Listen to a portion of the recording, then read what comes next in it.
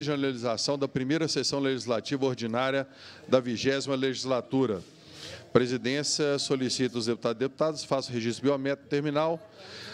Para tanto, registre a sua presença. É, essa presidência suspende os trabalhos para que a gente possa organizar aqui a lista de convidados. Estão suspensos.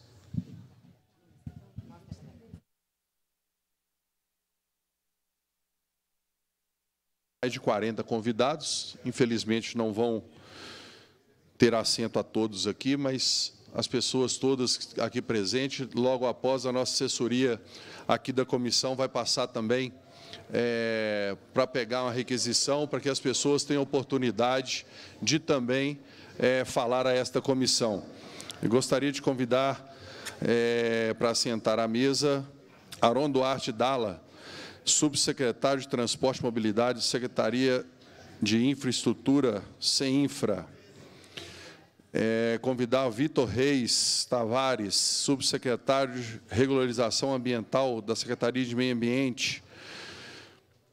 Convidar José Reis, secretário municipal de Meio Ambiente de Belo Horizonte, representando o prefeito Fuad Noman. Vander Borges, prefeito de Sabará, que presente também, Lucas Marques Trindade, promotor de justiça, coordenador regional das promotorias de justiça e meio ambiente, bacia hidrográficas do Rio, da Velha, Rio das Velhas e Paraupeba. Leonardo Castro Maia, promotor de justiça, coordenador estadual das promotorias de justiça de habitação e urbanismo, Ministério Público de Minas Gerais. Mila Batista Leite, diretora-geral da Agência Metropolitana de Belo Horizonte. José Roberto Fernandes, presidente da Câmara de Sabará.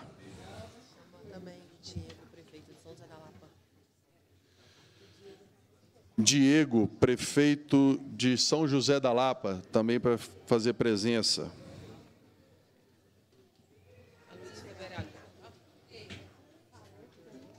Já pôs o presidente da Câmara, vou do assunto. Cheguei. Ei, ei, ei. E aí, Bela? Tudo bem? Já começaram, né? Não, eu tô só pondo um- as pessoas aqui. Tá, deixa eu ver se eu acho um lugar Tem- aqui na mesa.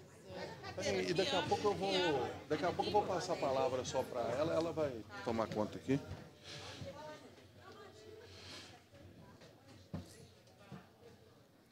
Queria agradecer a presença também eh, da vereadora da Câmara Municipal de Santa Luzia, Luísa Maria Ferreira Pinto. Obrigado pela presença. E aos poucos a gente vai pegando o nome das pessoas também para a gente ir agradecendo, cumprimentando e para a gente pegar também as pessoas para que possam fazer também o uso da palavra. Eu passo agora a palavra à deputada Ione Pinheiro, autora do requerimento, né, que faz jus a esta reunião tão importante. Então, passo a palavra para eh, a deputada Ione Pinheiro, autora do requerimento dessa audiência pública. Tem a palavra. Boa tarde a todas, boa tarde a todos. Fico feliz de ver aqui de- essa plateia cheia aqui, a casa cheia, isso mesmo. Se- Sejam bem-vindos a esta casa, que aqui é a casa do povo. Em nome do promotor aqui presente, quero cumprimentar toda a mesa aqui e dizer para vocês que hoje, né, nós estamos aqui reunidos, espero que seja a primeira de várias reuniões, porque é uma obra que vai marcar, né, as nossas cidades, que são 11 cidades, 100 quilômetros de obra, que é o Rodoanel. Eu acho que é uma, é uma grande obra, né, que salvar vidas é sempre, né, em primeiro lugar. Nós não podemos esquecer nunca. E é importante nós entrarmos nessa luta contra tantas mortes que ocorrem. É claro, né, que nós queremos menos impactos que sejam ambientais, menos eh, impactos nas vidas, né, das, das nossas pessoas, das famílias.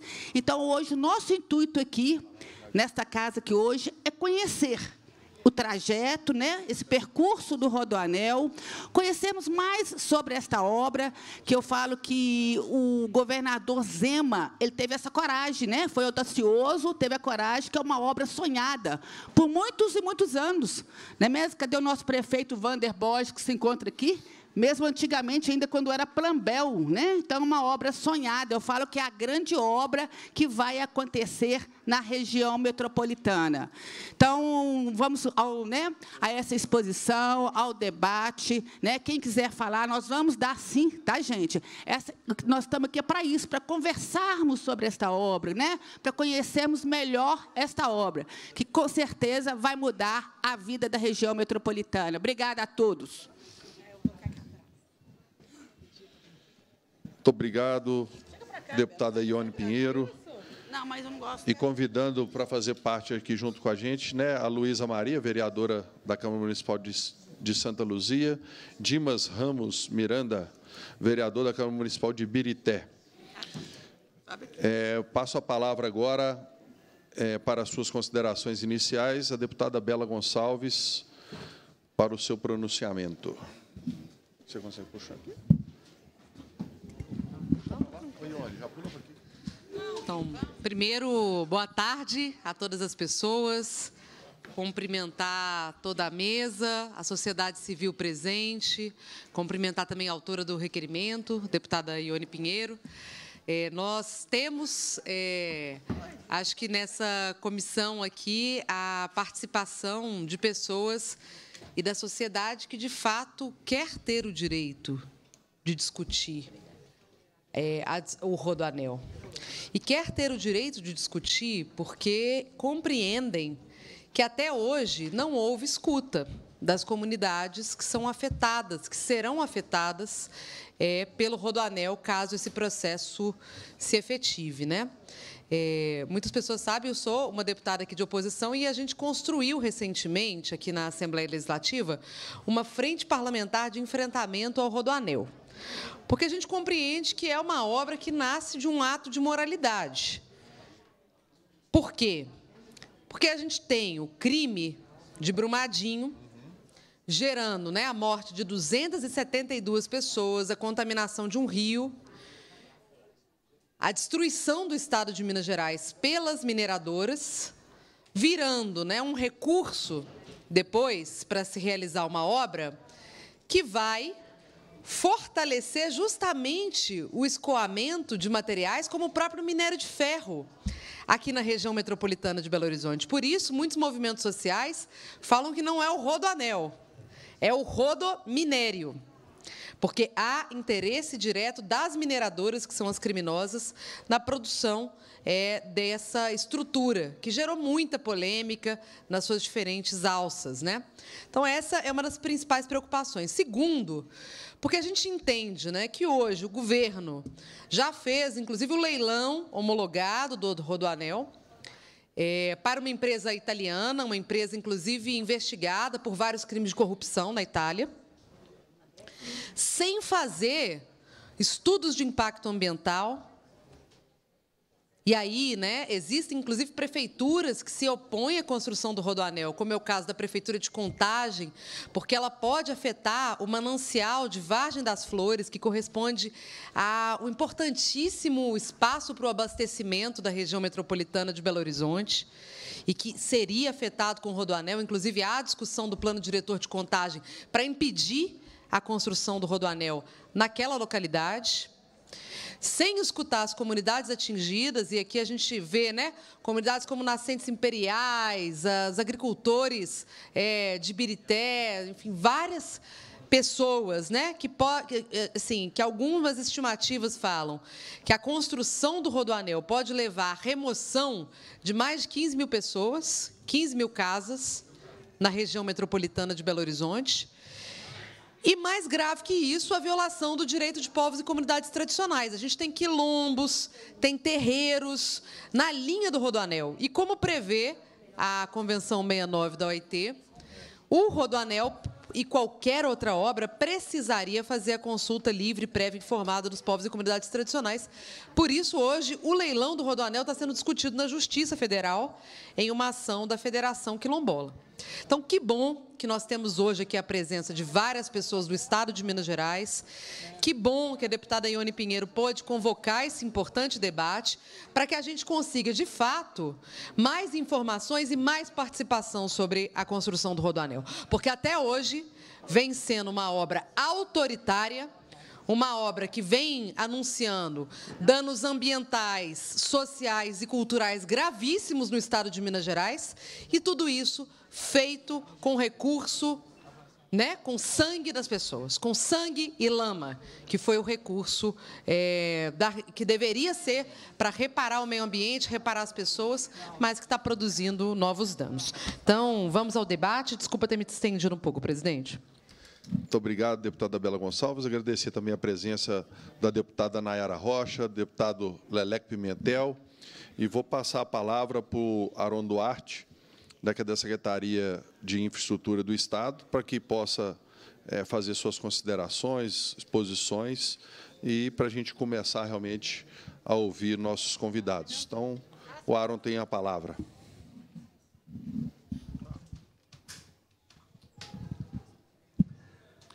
É, boa tarde a todos, boa tarde a todas, boa tarde, deputado Tito, na figura de quem cumprimento é, todos presentes aqui na mesa. É, primeiramente, a gente agradece, é, deputado Ione, a audiência pública, né, o pedido. A gente entende que é muito importante é, ter esse espaço para dialogar mesmo com, com a sociedade, com o Poder Legislativo. É, a gente preparou uma breve apresentação que eu vou passar. Vou pedir, por favor, que, que passe a, o primeiro slide. É, bom, o Rodanel Metropolitano é uma parceria público-privada, patrocinada. É, uma, é um projeto né, que o, muito almejado aí pela região metropolitana de Belo Horizonte, um projeto que já existe há mais de 20 anos. É, ele foi licitado né, foi licitado no ano passado e teve o contrato assinado agora no dia 30 de março. É, é um investimento aproximado de 5 bilhões de reais e a empresa vencedora é a Inc., né, uma empresa italiana, sendo que o prazo de concessão é um prazo de 30 anos. É, o projeto né, do anel rodoviário, do, do anel metropolitano, é, é, um projeto que não data de agora. Né? Como eu disse, já existem estudos é, de mais de 20 anos e o anel rodoviário de Belo Horizonte ele se tornou um, uma rodovia, né, uma, uma rodovia muito perigosa, com vários acidentes. Então, hoje ele lidera é, números de acidentes de trânsito, e vários desses acidentes possuem lesões fatais e, em média, 4.500 pessoas. É, a gente tem, em média, 4.500 acidentes por ano ali no anel rodoviário. É, é um, um, anel que já se encontra saturado. Né? Hoje transitam pelo anel rodoviário mais de 100 mil veículos e o tempo médio de, de deslocamento e atraso chega a 45 minutos. É, é um, um, uma rodovia com elevado índice de congestionamento e, inclusive, isso vem impactando em competitividade logística para o nosso Estado. É, eu não sei se, se alguém poderia passar para a minha apresentação, por favor. É, pode passar. Pode passar. É, então, aqui, essas imagens, a gente consegue ver um pouquinho, na imagem da direita, né, o fluxo de cargas no Brasil e essa foi uma pesquisa feita, né, de origem e destino de cargas e demonstra ali que várias dessas cargas passam por Belo Horizonte e necessariamente pelo anel metropolitano. Então, como eu disse, é, já há uma saturação muito grande. E ali na figura da esquerda a gente vê o, o rodoanel metropolitano, né, que é a solução que a gente está debatendo hoje. Então, é uma solução que vai pegar as principais estradas, né, a BR-381, a BR-040 é, e outras rodovias, né, de maneira a retirar um pouco do fluxo de cargas do anel metropolitano. É, dentre os benefícios que a gente pode citar, é, alguns né, de, dos benefícios que o, o rodoanel metropolitano vai trazer é melhoria na mobilidade, né, um aumento da malha viária do Estado, vai permitir com que as pessoas se desloquem com mais segurança e com mais rapidez. É, vai retirar o trânsito tanto do centro de Belo Horizonte quanto do anel rodoviário.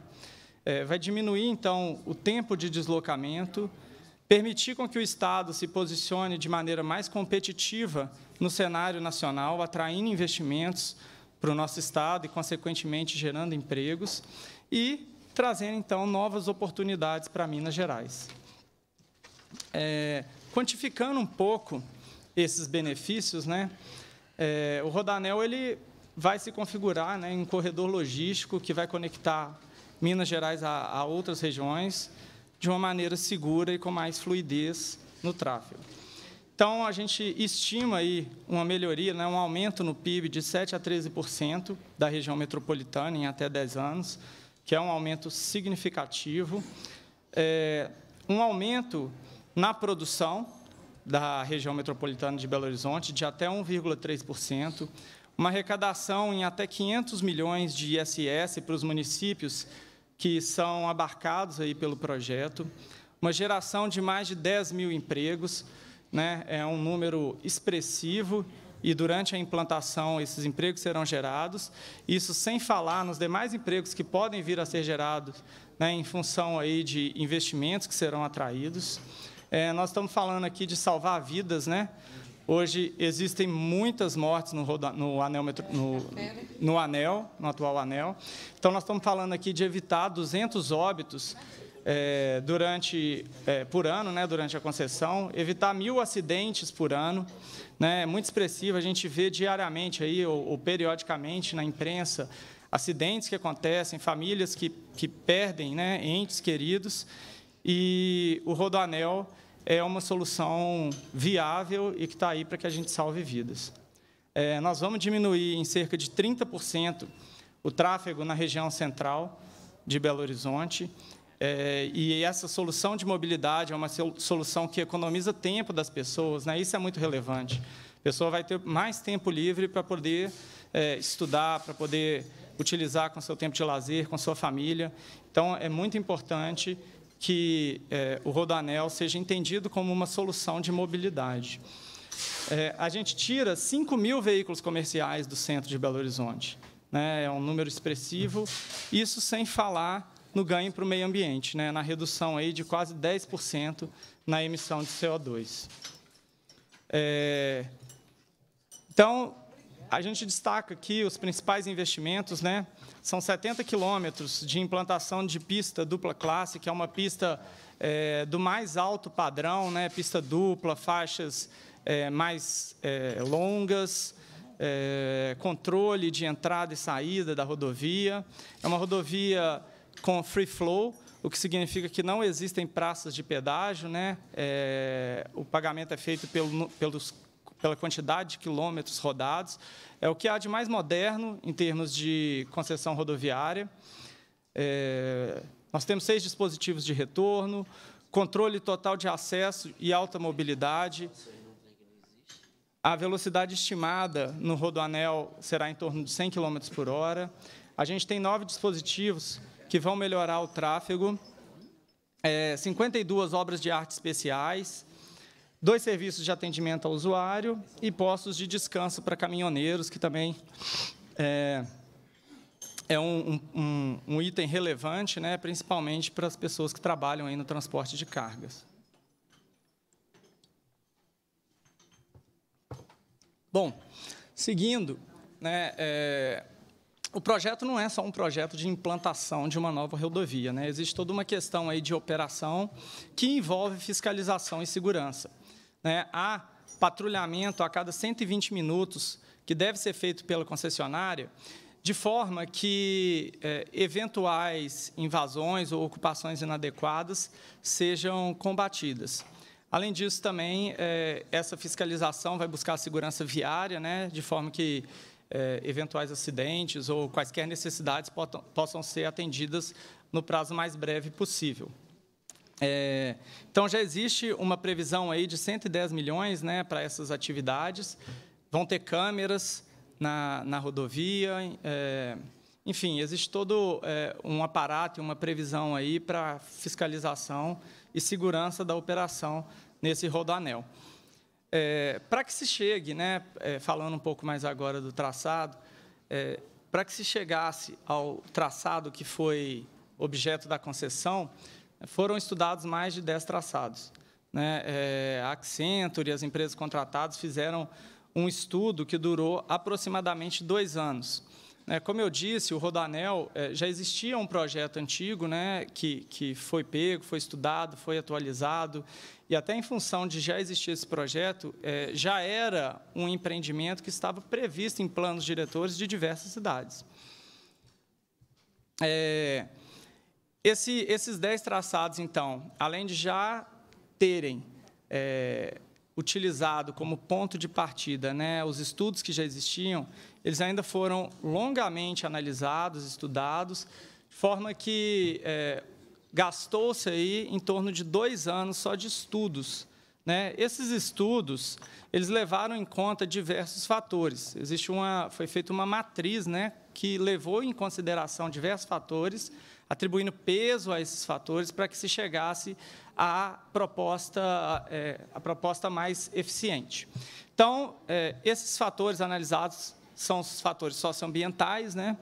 É, foram feitos mapeamentos de atributos ambientais, avaliação comparativa de alternativas, identificação e quantificação de áreas de desapropriação. É, foi analisada a questão de tráfego e demanda também, né, a projeção tanto é, de demanda do atual traçado, como a questão do anel existente. É, foram feitos vários estudos de engenharia, levantamentos de obras necessárias, obras de arte especiais, estudos sobre restauração, manutenção, enfim. É, houve todo um esforço no sentido de se buscar as melhores soluções de engenharia. É, modelo, né, outro ponto que foi analisado, é a operação de serviços para o usuário. Como eu disse, não se trata apenas de uma obra, da implantação de uma rodovia, mas de todo um serviço que acompanha a operação dela. É, foi feito também, levado em consideração as questões econômico-financeiras, é, de suma importância né, que é, esses estudos viabilizassem o projeto. Então, eles são peça fundamental do, da modelagem. É, além disso, avali, avali, foram avaliados né, marcos regulatórios legais, normas existentes nos municípios, e, como eu disse, por ser um projeto, não de agora, mas um projeto que já vinha sendo discutido há muito tempo, vários municípios já previam isso nas suas legislações, em planos diretores, em legislações específicas. Inclusive, o plano da região metropolitana, o PDDI, também já tinha a previsão do rodoanel. É, e, por fim, né, levou-se em consideração aí a elaboração de um plano de negócios que realmente fizesse com que essa obra fosse viável. Bom, é, esse foi um projeto que ele foi discutido, muito discutido com a sociedade. Né? Foram realizadas consultas públicas, foram realizadas mais de 700 contribuições. Gente, eu vou dar a palavra depois, tá? Todo mundo vai poder falar, tá bom? Vou pedir só um. Bom, então, é, continuando, eu trouxe aqui alguns dados né, sobre participações que foram realizadas. Então, nós tivemos uma audiência pública, né, que houve audição aí sobre os diversos trechos do Rodoanel. Né, foram mais de 700 visitas no site que foi colocado à disposição. Foram mais de 700 contribuições realizadas houve a disponibilidade né, nessas audiências. Aqui a gente tem algumas datas né, que foram realizadas, mais de 85 dias aí para é, oitiva de contribuições. A gente teve audições, pode passar, por favor? Audições individuais, né? Foram realizadas mais de 75 audições com diversos atores, diversas reuniões presenciais, reuniões online, que também foram realizadas né, no momento em que é, a gente estava vivendo um momento de pandemia, um momento muito difícil, e ainda assim é, a CEINFRA conseguiu viabilizar é, participações online, reuniões. Então, a gente teve contribuição de sociedade civil, de órgãos ambientais, de municípios, de eventuais empresas interessadas. É, também houve alinhamento com municípios, né? foram feitas aí reuniões com Belo Horizonte, Betim, Brumadinho, Contagem, Birité, Igarapé, Nova Lima, Ribeirão das Neves, Sabará, Santa Luzia e Vespasiano. Então, é, são 11 municípios né, pelo qual o traçado passa e foram realizadas reuniões com todos esses municípios. É, também foram realizadas reuniões com organizações da sociedade civil, né, e aqui é importante até destacar que, como fruto dessas contribuições, a alça sul do Rodoanel sofreu uma alteração. Né? O traçado foi alterado, foi ajustado a questões ambientais que foram colocadas. Enfim, é, o próprio traçado já sofreu alguns ajustes em razão dessas audiências e dessas contribuições que foram realizadas. É, eu coloquei aí o, o, o, traçado, né, como que ele está hoje, ele é dividido em quatro alças. Né?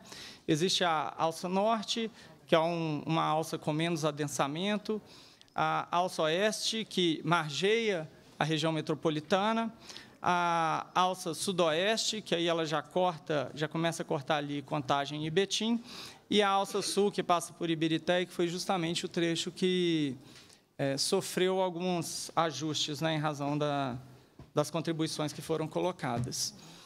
É, pode passar. Eu coloquei o mesmo traçado, mas aqui para que possam ver melhor os municípios, né?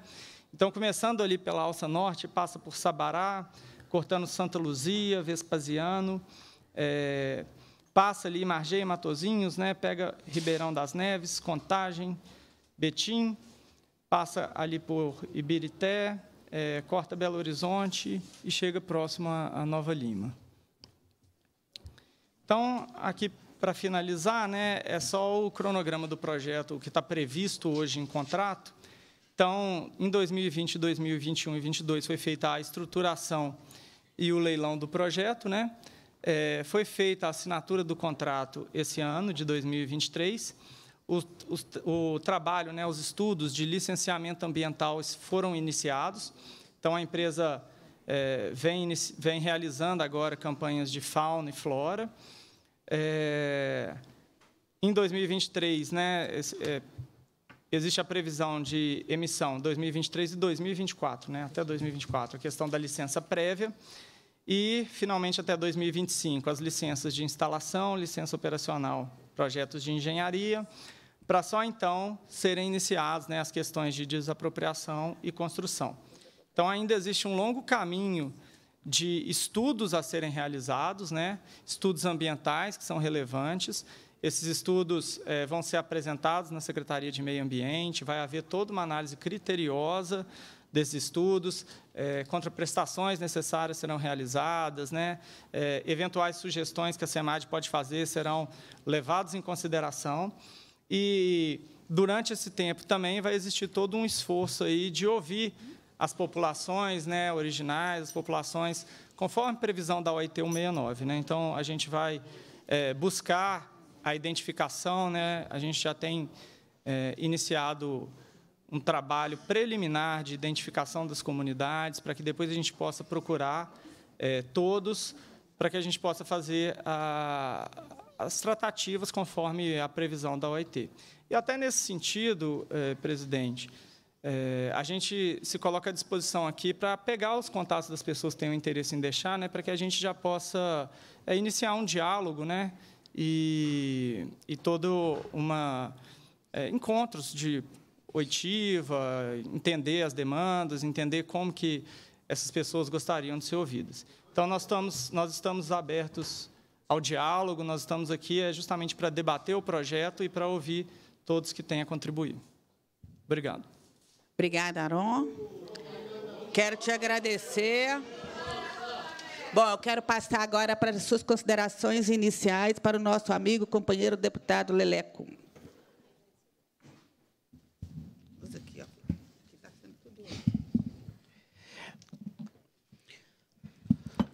Eu não tenho dúvida que se o Estado tivesse convencido alguém dessa mentira que a gente acabou de ouvir, aqui estava cheio de gente apoiando. Eu até pergunto, Aron, se você acredita nas coisas que você disse aqui.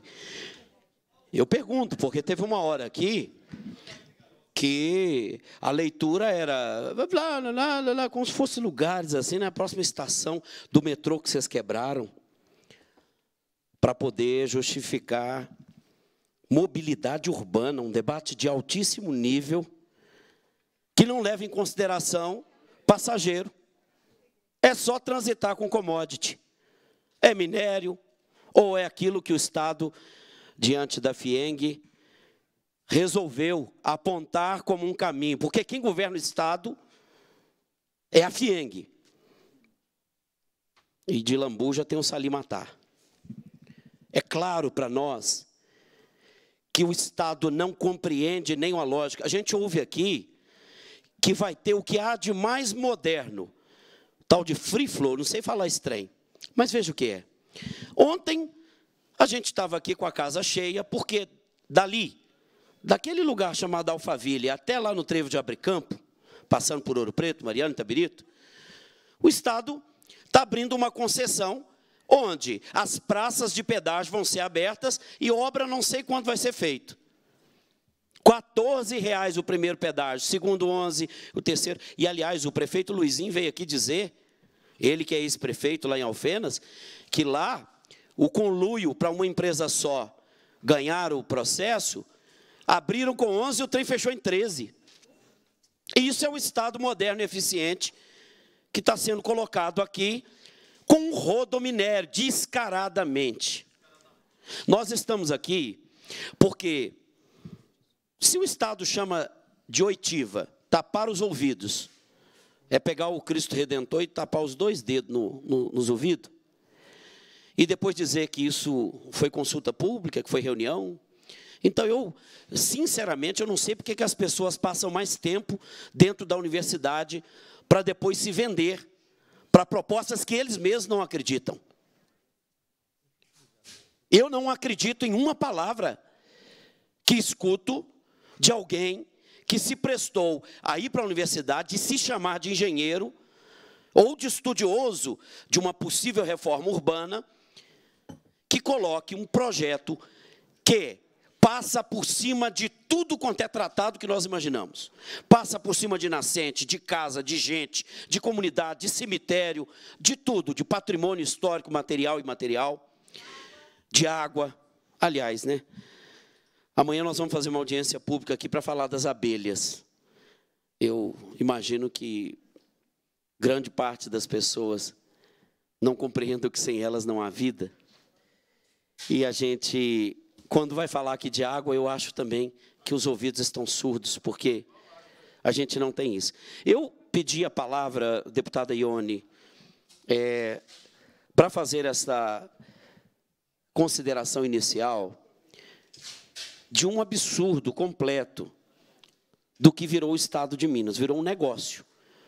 E eu até não acredito que esse troço aí, do jeito que eles estão querendo, que eles atropelam, mas depois não conclui. Nem pode sair. Então, eu acho que o Estado virou negócio, negócio dos bons. Porque quem não gostava não era político, agora gosta também.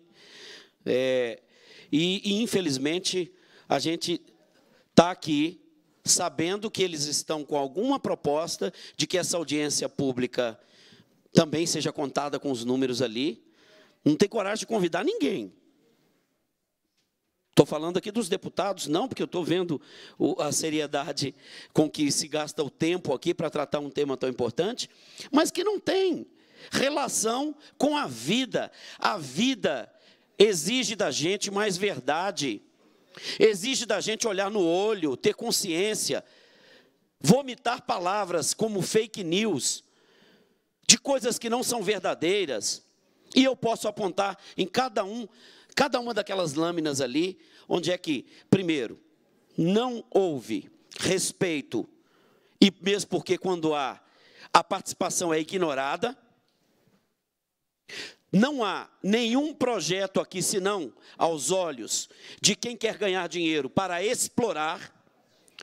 E eu fico me perguntando se o Estado está tomado pela especulação e por quem quer ganhar dinheiro e quem quer fazer de tudo negócio, é a função que vai ter então o empresariado? Porque o Estado vai, assim, servindo tanto, que vai chegar num momento em que a gente não vai mais conseguir discernir as duas coisas. Então, por fim, eu acho que chamar rodominério de solução para a mobilidade urbana de Belo Horizonte com um estudo de impacto que vai diminuir 30% do fluxo de carros, vai melhorar a vida de quem estuda, de quem, de quem trabalha.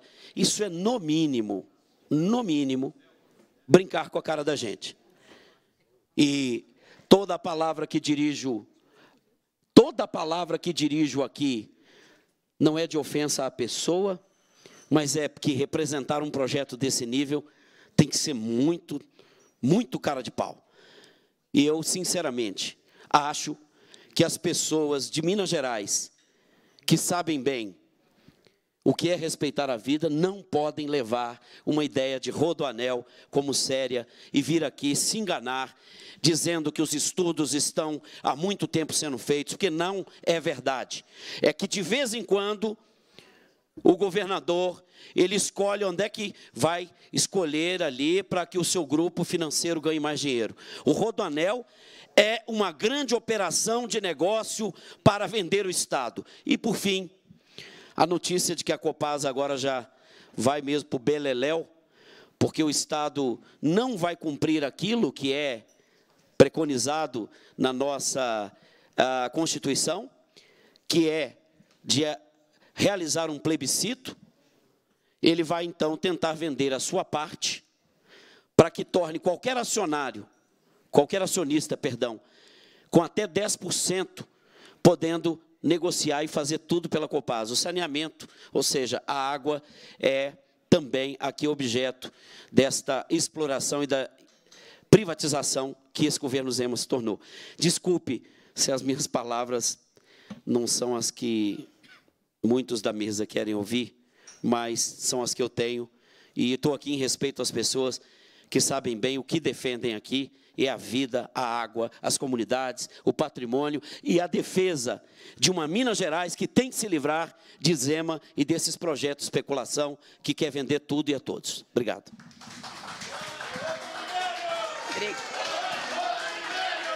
Obrigada, de... Obrigada deputado.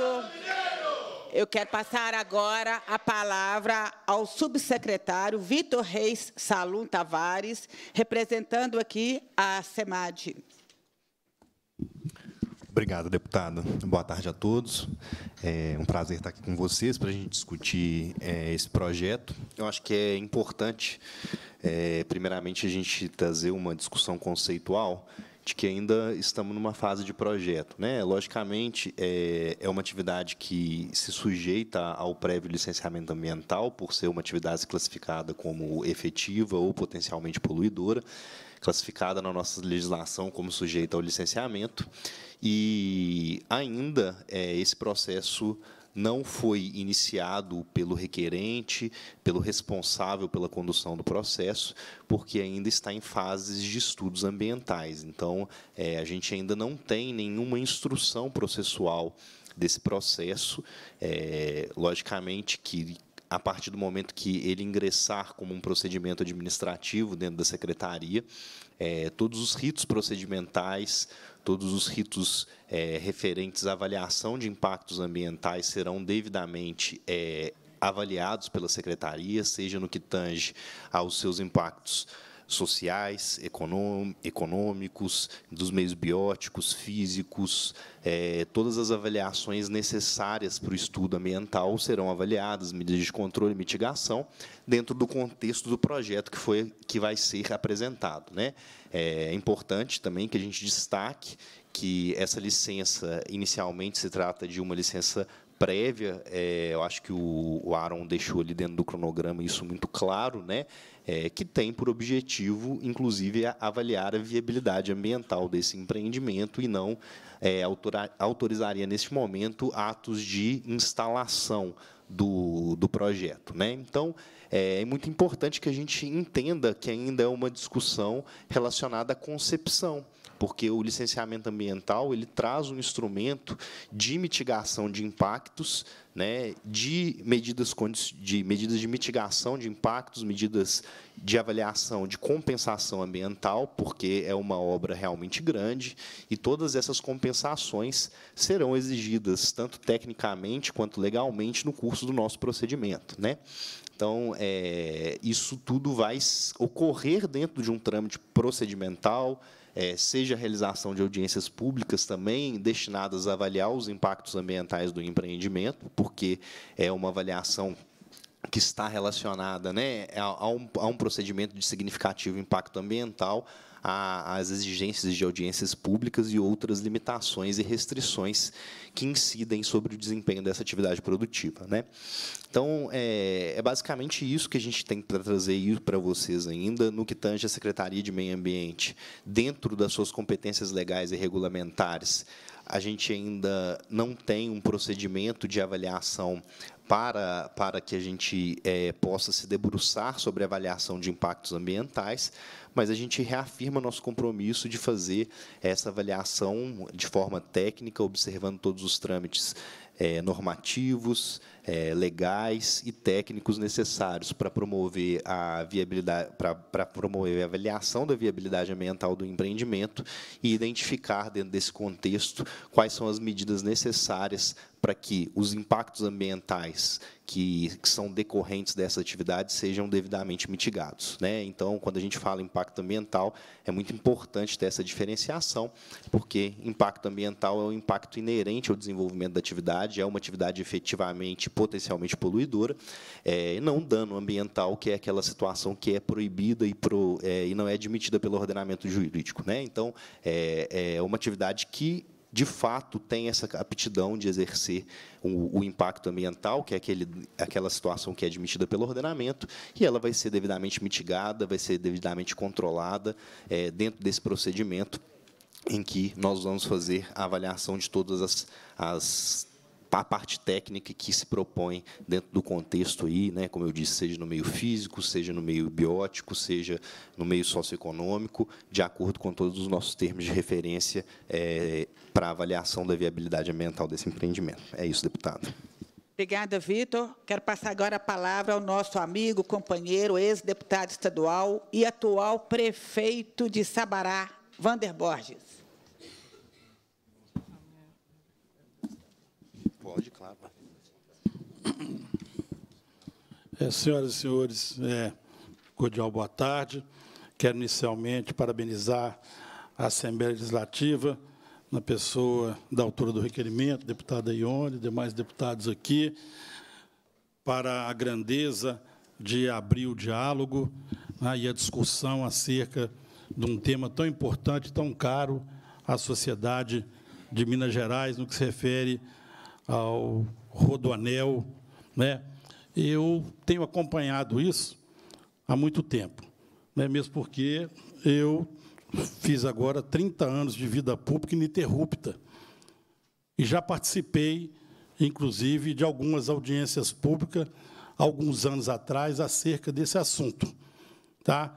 Talvez no momento adequado, muitos não participaram e vão se juntar agora para fazer uma nova discussão, porque é um novo momento que nós estamos vivendo. Afinal de contas, eu, inclusive, né, quero citar nome aqui de Carlos Alberto Versier, Márcia Passe, Cláudio de São Geraldo. Essas três pessoas participavam com a gente. Morreram na BR-381 no quilômetro 30, em Ravena. Estênio, hoje é um amputado da perna direita. Meu colega e contador na Prefeitura de Sabará. Também em acidente na BR-381. Alguém pode estar dizendo, nós estamos falando de anel metropolitano, rodoanel, o que queiram chamar, que impacta diretamente vidas e economia entendeu? do Estado de Minas Gerais. Nós temos que fazer aqui um paralelo do que está acontecendo. A BR-381, chamada Rodovia da Morte, vem sendo entendeu? trabalhada para ser duplicada há diversos anos. Passaram por ela diversos governos, de diversos partidos, diversas matizes, diversas ideologias. Sabe? E isso acabou não acontecendo da forma que nós, mineiros, precisamos. Essa rodovia, ela traz para nós um dos maiores sentimentos de produção econômica na busca da riqueza. É por onde trafega tudo isso. E essa rodovia agora teve um parecer do Tribunal de Contas da União já favorável para a sua concessão, o seu leilão. Está acontecendo agora. E é uma obra de extrema importância para Minas e para o Brasil. Quem sai daqui e vai para São Paulo, a partir de Betim, pega a 381, hoje chamada de Fernão Dias, e vai em pista duplicada. Quem sai daqui e vai para o estado do Espírito Santo, para Valadares, João Molevade, terra do meu amigo Tito, vai numa rodovia que a cada semana mata um, dois, três. O que, eu quero dizer com isso? Que, na realidade, precisamos encontrar um caminho dentro dessa discussão de alça metropolitana, de rodoanel, de estrada vicinal, do que for. Porque se essa obra que está nas mãos do governo federal, não tem a tutela do governo estadual, iniciar, nós estamos com as nossas cidades literalmente quebradas. Porque se hoje já não anda, imagina com a obra de duplicação em curso por quase nove anos. É o que está no contrato. Pelo menos são a, as informações iniciais que a gente tem.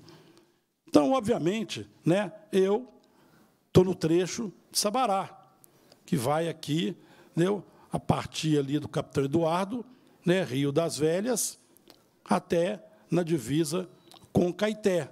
É onde se dá o maior estrangulamento, inclusive nos finais de semana, quando muitos de vocês, muitos de nós, saímos aqui para a região de Itaquaraçu, de Molevade, de Dionísio, de Jaguaraçu, ou vai para Valadares, alguns vão para a praia. Então, nós precisamos fazer uma discussão, entendeu? Extremamente madura acerca do que se quer fazer. Porque senão, daqui a pouquinho, a economia para. A economia parando, nós estamos falando em quê? Em desemprego. Nós estamos falando em diminuição de renda. Nós estamos falando em mais gente dependendo entendeu? de programas assistenciais, seja do governo federal, seja do governo do Estado e até das prefeituras. Então, é de muita ousadia e de responsabilidade, deputada Ione, trazer esse tema a baile. Eu mesmo, estou dizendo para vocês, há 12 anos atrás participei de audiência acerca desse assunto. E a coisa não anda, não sai do lugar. Ah, não é desse jeito? Mas qual que é o jeito? Vamos encontrar, então, um caminho que nos dê segurança jurídica, segurança ambiental, e é importante de, de definir o que, que é impacto e o que é dano.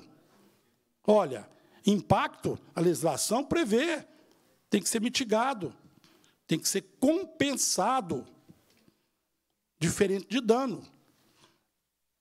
Então, venho aqui trazer, inicialmente, essa pequena contribuição, entendeu? com grande humildade, no sentido, é claro, de ouvir aqueles que serão afetados. Nossa cidade será afetada, né, porque quando se fala em Ravena, muitos acham que Ravena é uma cidade. Ravena é um distrito da histórica cidade de Sabará. Então, nós temos que fazer uma discussão madura. Gente, está no momento de nós unirmos as nossas caminhadas em torno do que queremos para a nação brasileira. Movimentos, entendeu? Seja de um lado ou outro, que nos leva ao radicalismo, à falta de entendimento. Olha, o brasileiro, ele é dado ao diálogo, ao entendimento, à busca de solução. Nós temos que ter maturidade. Dizer não por não, sim por sim. Olha, essa época acabou. Nós fazemos hoje disputas com o mundo internacional, em todos os ambientes. Tivemos aí uma pandemia e nós precisamos de recuperar, entendeu? Um pouco do que nós perdemos nesses anos. com pessoas talentosas, com academia, com estudo, mas, sobretudo, com um diálogo franco, honesto, correto. Não dá para julgar algumas coisas que são institucionais para a plateia. Não dá. Tem que bater no peito aqui. E aí eu quero parabenizar mais uma vez, viu, Ione? Você, enquanto deputado, e os seus pares, que tem que trazer essa discussão. E sim, pode alterar a voz, entendeu? Pode vaiar, pode aplaudir, pode xingar, entendeu? Mas precisamos encontrar um caminho que nos una em um único propósito chamado Minas Gerais. Muito obrigado. Obrigada, prefeito. É isso mesmo, nós precisamos encontrar um caminho, né? Um caminho que sempre seja bom para Minas Gerais. Quero passar agora aqui a palavra ao doutor Lucas Marques Trindade, promotor de justiça, coordenador regional das promotorias de justiça do meio ambiente, das bacias hidrográficas dos Rios das Velhas e Paraupeba. Boa tarde a todos, deputada. Obrigado pelo convite. Parabenizar o parlamento por essa iniciativa. E a minha fala é muito breve, apenas para dizer que o Ministério Público está acompanhando o tema, mas vem aqui hoje muito mais para ouvir, não é, do que para falar. Acho que o espaço hoje é da população. As pessoas estão aqui não é, ansiosas por, por se manifestar e, e nós vamos é, absorver tudo que for dito. Né? É, cabe ao Ministério Público, enquanto representante da sociedade, sempre na sua tomada de, de decisões, uh, ouvir as pessoas e considerar a vontade eh, das pessoas manifestada. Uh, ao mesmo tempo, não é, enquanto fiscal da ordem jurídica, se pautará, como sempre se pautou, uh, por averiguar eventuais né, ilegalidades, caso hajam, e, e, tomar providências que reputar cabíveis diante de ilegalidades que eventualmente sejam uh, identificadas, mas também não é, o Ministério Público tem que deixar consignado que vem ah, recebendo do Estado de Minas Gerais informações ah, plenas, suficientes, é, desde o início do, do projeto, ah, e que vem com isso instruindo seus procedimentos para formar suas convicções. Como o subsecretário ah, Vitor disse, é, o licenciamento ambiental sequer se iniciou, né, de fato, o procedimento ele não teve início ainda do ponto de vista de iniciar a sua tramitação e uma vez que é apresentado o estudo ambiental, no né, estudo de impacto ambiental, é onde se começa ali a discussão de audiências públicas no licenciamento ambiental e as tomadas de decisão dos órgãos ambientais vão sendo feitas. Então, é, o Ministério Público acompanhará a par e passo o licenciamento ambiental, nós podemos dizer isso, é, porque se trata, é, evidentemente, de um empreendimento uh, de interesse público, no sentido de despertar, não é, seja é, de um lado ou de outro, não é, interesse da população em geral, uh, de modo que o Ministério faz esse compromisso não é, de, de que acompanhará o, o, o licenciamento ambiental uh, do empreendimento, é, mas, como eu disse, já me alongando, é para além do, do, desejado inicialmente, acho que hoje é o espaço de ouvir a população interessada é, e por isso, por mais essa iniciativa do parlamento, né, que vem se mostrando muito atuante em matéria de interesse ambiental no Estado de Minas Gerais, eu congratulo a deputada Ione e todos os demais parlamentares uh, e fico aqui à disposição, inteiramente à disposição para uh, participar. Muito obrigado. Obrigada, doutor Lucas. Quero passar aqui a palavra ao doutor Leonardo Castro Maia, promotor de justiça, coordenador estadual das promotorias de justiça de habitação e urbanismo, Ministério Público de Minas Gerais. É, deputada Ione, né, cumprimento a senhora e, na pessoa da senhora, cumprimento aos demais membros da mesa, também aos presentes, os que nos assistem.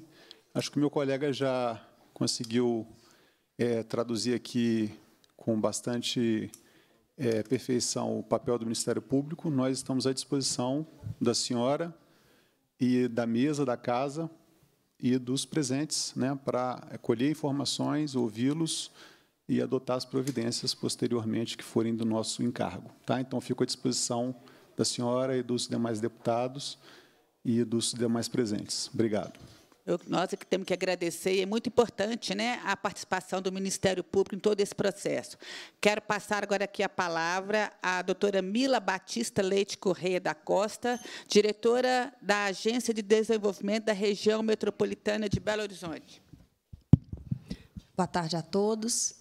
É sempre um prazer, deputada, vir à minha casa. Né? Sou servidora da Assembleia, estou cedida para a Agência Metropolitana, cumprimentar meus colegas que estão aqui atrás, os prefeitos da região metropolitana, o prefeito Diego, o prefeito é, Vander de Sabará, assim como os colegas que estão presentes, secretário de Meio Ambiente de Belo Horizonte, que eu tive o prazer de conhecer hoje, né, secretário?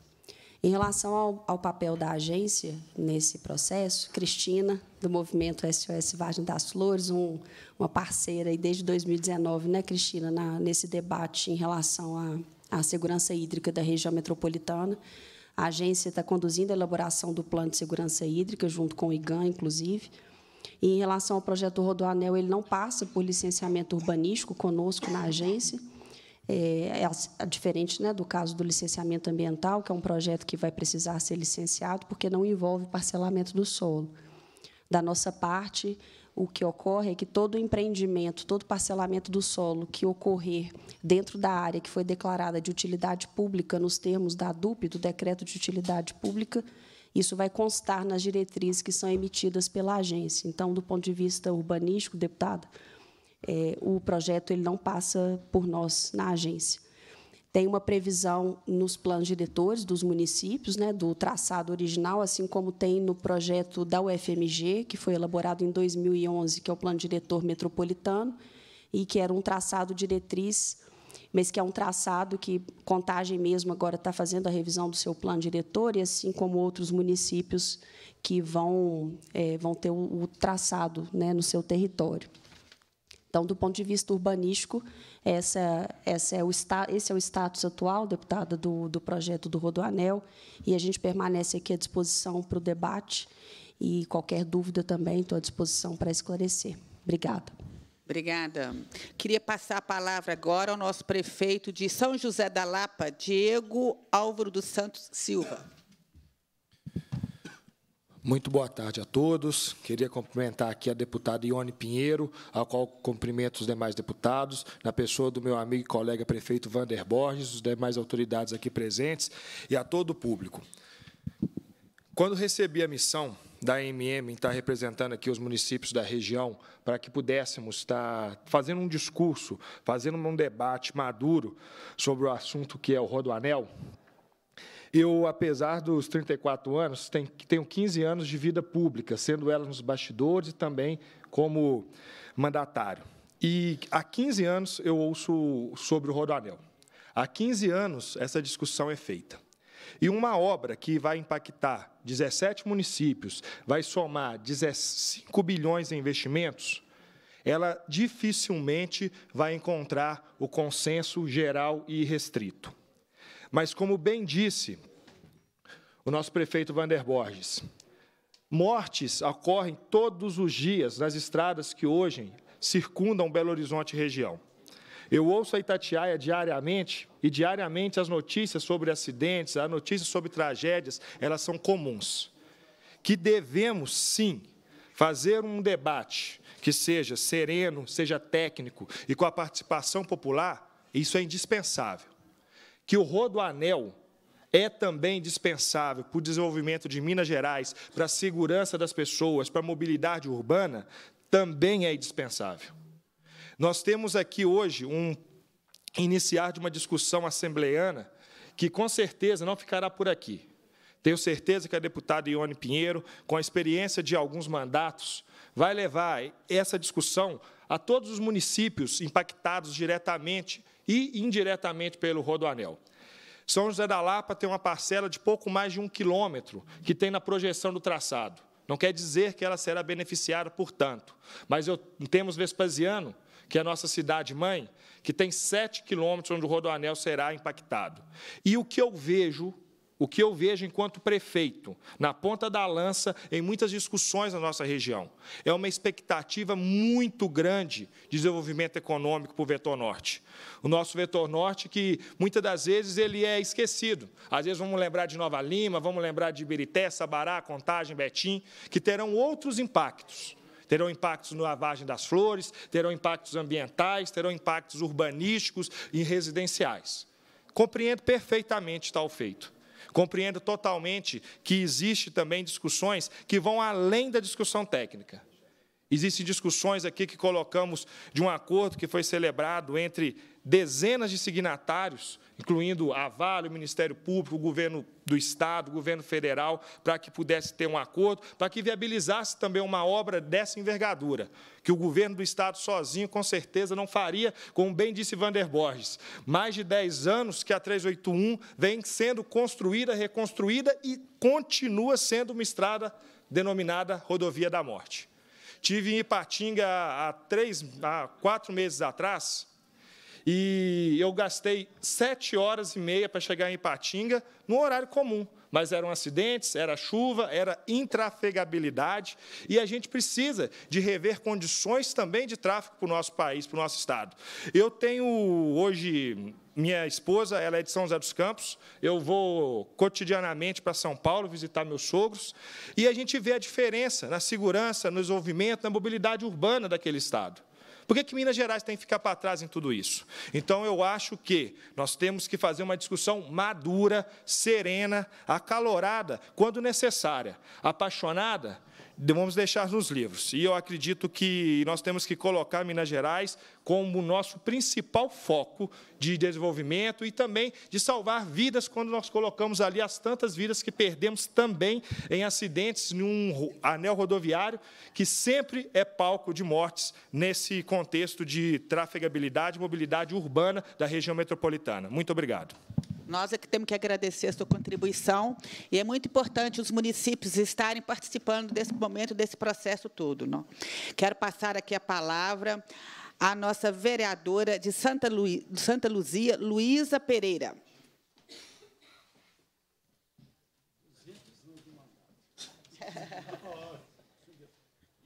Mulher de luta, né?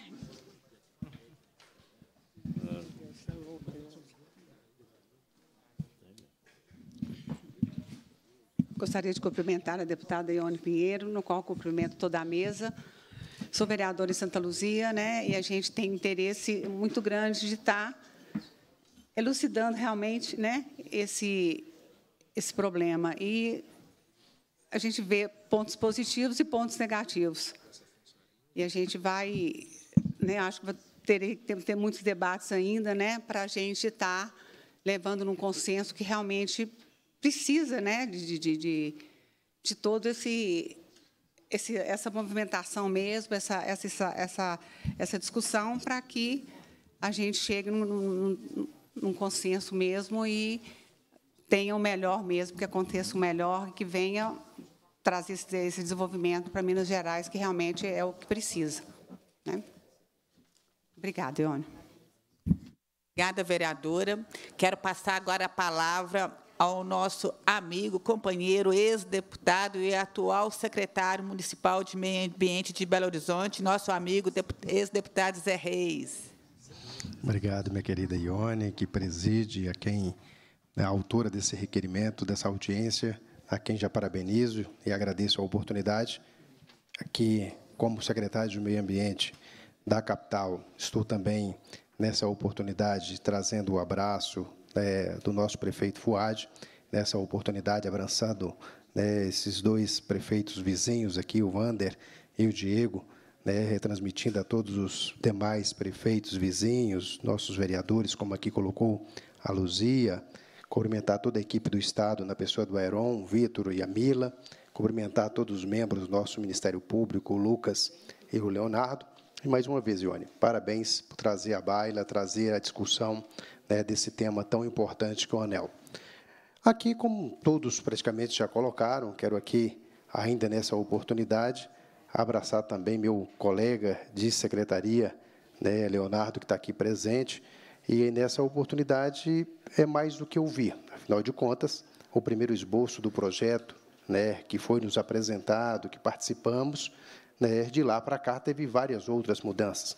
Naquela ocasião, nós analisávamos a retirada 100% dos caminhões pesados, especialmente né, do, centro de Belo, do centro de Belo Horizonte, da nossa região de Belo Horizonte, automaticamente melhorando o nosso microclima, melhorando né, nossa estrutura, até porque o atual anel seria transformado em uma via urbana, passando para a administração da PBH, ou seja, nós teríamos melhores êxitos nesse monitoramento do trânsito atual. É claro que, para isso, nós temos que estar né, preservando, cuidando né, das nossas quase 1.200 nascentes dentro da nossa capital, preservando nossa, das áreas verdes. Aqui quero abraçar todos os coletivos que vejo aqui representados por diversos membros de coletivos né, das nossas áreas verdes, enfim, efetivamente, né, e aí como o nosso subsecretário Vitor, Vitor Reis Salum colocou dentro desse momento de licenciamento,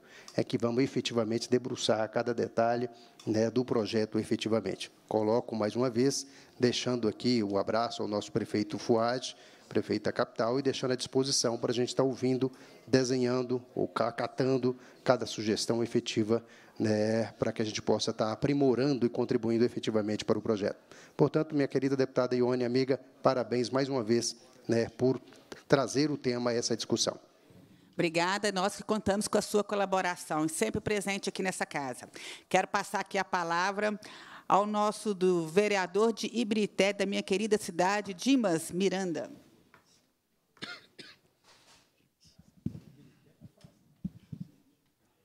Boa tarde a todos. Obrigado, deputada Ione, pelo convite. E eu vim mesmo para ter mais conhecimento de como que vai ser esse rodoanel, quantos quilômetros que vai passar dentro de Brité. Brité tem é, uma grande área de preservação ali das montanhas, então a gente quer saber, e não tem desenvolvimento sem impacto, mas qual seria a compensação para o possível impacto que daria dentro, principalmente da cidade de Brité, e que se reverteria propriamente para a cidade de Brité. A gente tem que pensar num todo, mas como é, sou de Birité, então eu gostaria de saber também qual seria esse impacto e qual é a compensação desse possível impacto dentro da cidade de Birité. Obrigado pela oportunidade. Obrigada, vereador. Vou passar aqui a palavra ao subsecretário Aron. É, vereador, a gente, é, é, como eu disse, né, vai ter toda uma, uma questão ainda do, da questão do licenciamento ambiental para que a gente possa avaliar né, as contrapartidas e como que a gente vai é, retornar isso para os municípios. É, a gente tem a questão do ISS, que vai ser direcionado né, para os municípios, de acordo com quilometragem de, de rodovia. E, além disso, é, a gente pode fazer um debate mais aprofundado para mostrar para o senhor o, o, traçado direitinho, como que vai margear ali Ibirité. Se o senhor quiser, que depois da audiência a gente já pode até agendar uma reunião e discutir de maneira mais aprofundada. Obrigado. Obrigada. Quero passar agora a palavra ao nosso vereador, presidente da Câmara de Sabará, José Roberto. Ione, boa tarde. Quero primeiramente agradecer a oportunidade do convite, parabenizá-la pela iniciativa, que é de grande importância para o Estado de Minas Gerais, para a nossa região, em especial Sabará. Cumprimentar a mesa através da Vossa Excelência parabenizar a plenária e dizer que faço das minhas palavras palavra proferida pelo prefeito Vander Bosch. É que nós tenhamos que ter discernimento, sabedoria, sapiência para chegar a um denominador comum, que vai agregar em função de todos nós. Então, boa tarde e obrigado. Nós é que temos que agradecer sua participação. Muito importante, gente, essa participação popular. Nesse momento, a presidência passará a palavra aos inscritos. Cada inscrito disporá de até dois minutos para sua intervenção. Todas as manifestações deverão ser feitas utilizando o microfone. E, ao iniciar a sua fala, o participante deverá informar seu nome e a entidade que representa, quando for o caso, para efeito de gravação desta reunião. Quero dizer que vocês todos são bem-vindos a esta casa, a casa do povo.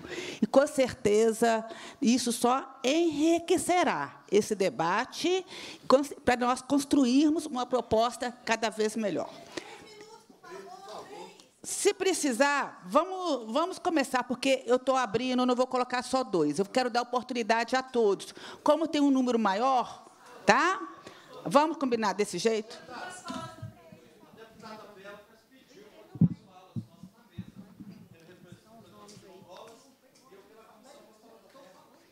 Eu vou passar para você primeiro, tá? Fica tranquilo. Gente, eu vou atender, a nossa intenção aqui é de atender a todos e a todas.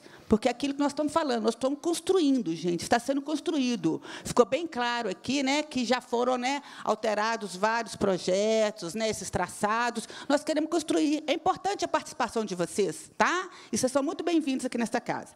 Eu quero passar aqui a palavra para o Frei Gilvander Luiz Moreira representante da Comissão Pastoral da Terra. Seja bem-vindo. Obrigada, deputada Ione.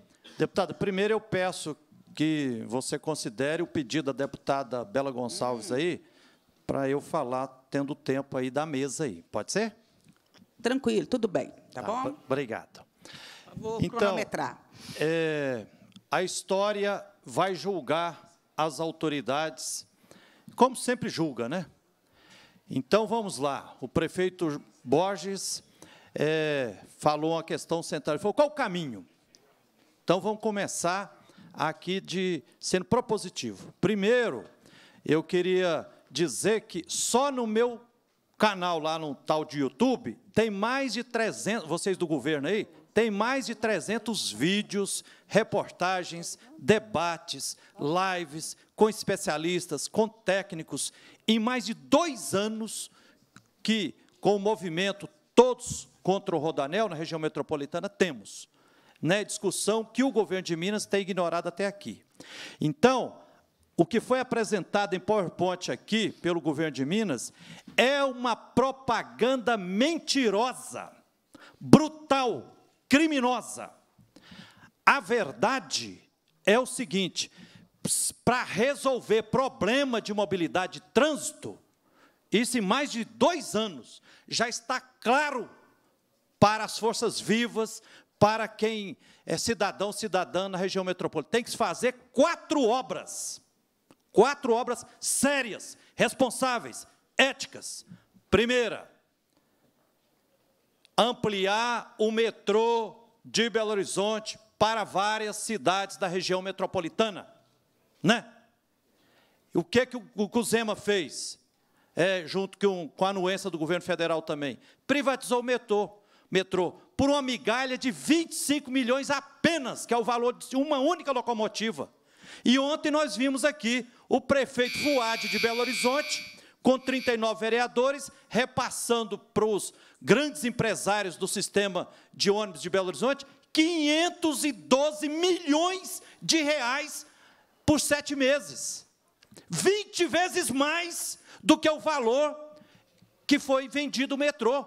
Então, prefeito Vander, seria muito mais ético e responsável que a prefeitura de Belo Horizonte tivesse comprado o metrô e, pelos 25 milhões e aplicasse 25 500 milhões de reais para ampliar o metrô para várias cidades. Uma das propostas.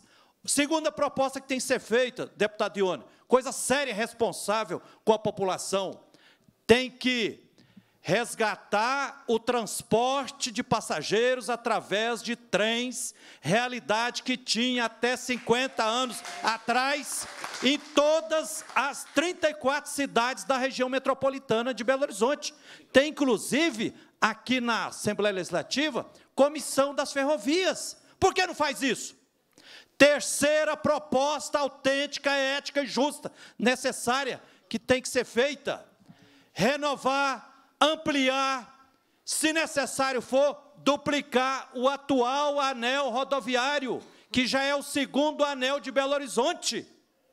E vocês do governo deveriam ter um pouco de, de seriedade, porque o Zema deixou lá no, no, na gaveta um projeto que custou 10 milhões de reais, que o ex-governador Pimentel fez, mostrando que é viável, tecnicamente, tudo, ampliar e duplicar o anel rodoviário. Por que, que não faz isso? Então fica vendendo essa mentira para o povo aí, né? Quarta proposta, ampliar o sistema público. Outra coisa, gente, esse, esse rodominério é infraestrutura para ampliação da mineração em Belo Horizonte e na região metropolitana. Em BH, região metropolitana, nós temos que decretar o quanto antes, deputado Ione, mineração zero, não suporta mais. Quando, todo mundo sabe aí, aquele camarada tal de Arão, Arão Reis, quando veio para estudar mudar a capital para cá, colocou aqui porque tinha mananciais capazes de abastecer uma cidade de até 3 milhões de pessoas. Juntando Belo Horizonte com as 34 cidades da região é, metropolitana, prefeito Diego, já são 5 milhões e 900 mil pessoas. Quer dizer, já duplicou 3, 6 milhões. E os mananciais, a metade matados. Mataram o Rio Paropeba, mataram o manancial de, é, da Pampulha, do manancial de Águas Claras e tantos outros mananciais. Então, esse rodoanel é, de fato, um cavalo de Troia, uma obra que vai gerar a desertificação da região metropolitana, vai matar a necessária agricultura familiar que tem nos 13 municípios da região, né? vai acabar de matar os mananciais que abastecem Belo Horizonte, região metropolitana. Pelo amor de Deus, gente, vamos pôr. E último, eu não vou segurar a palavra aqui, dá vontade de falar, argumentos nós temos para um dia inteiro, né? Um absurdo. E outra coisa, deputado Ione, não será uma estrada pública. Prefeito Borges, meu irmão, será uma estrada, autoestrada particular na prática. Uma única empresa multinacional lá da Itália, que nós já apuramos, já saiu no jornal o Tempo, que tem ligações com a extrema-direita italiana, pedágio mais caro do Brasil. Já foi feita a conta que em 30 anos de concessão, essa multinacional italiana vai lucrar aqui 60 bilhões de reais. E será escravidão para os 6 milhões de pessoas de Belo Horizonte da região metropolitana. Pobres com os carros simples e humildes não vai ter dinheiro para pagar nesse negócio aí, para passar nesse rodominério. Então, pelo amor de Deus, e termino alertando. E fico assim, pasmo, mas desculpe, mas dá vontade. Falei, nós já batemos na porta do Ministério Público de Minas Gerais várias vezes. Já conversamos com vários promotores da área ambiental né, de Belo Horizonte, da região metropolitana. Até agora, nada. Quem está na justiça. Finalizar? Vou finalizar, deputado Ione. Só com essa informação, porque é sério, eu passo só para o Ministério Público tá. aqui. Quem está na justiça, né, no sexto Tribunal Regional Federal é o Ministério Público Federal, é a Federação Quilombola do Minas Gerais, que colocou uma ação civil pública questionando a ilegalidade, o monte de ilegalidade que tem nesse projeto. Então, estranha-nos até agora o Ministério Público de Minas sem fazer nada. Foi feito um absurdo, por isso estranho, porque quase ninguém fala nada, quase nada aqui, vem para ouvir.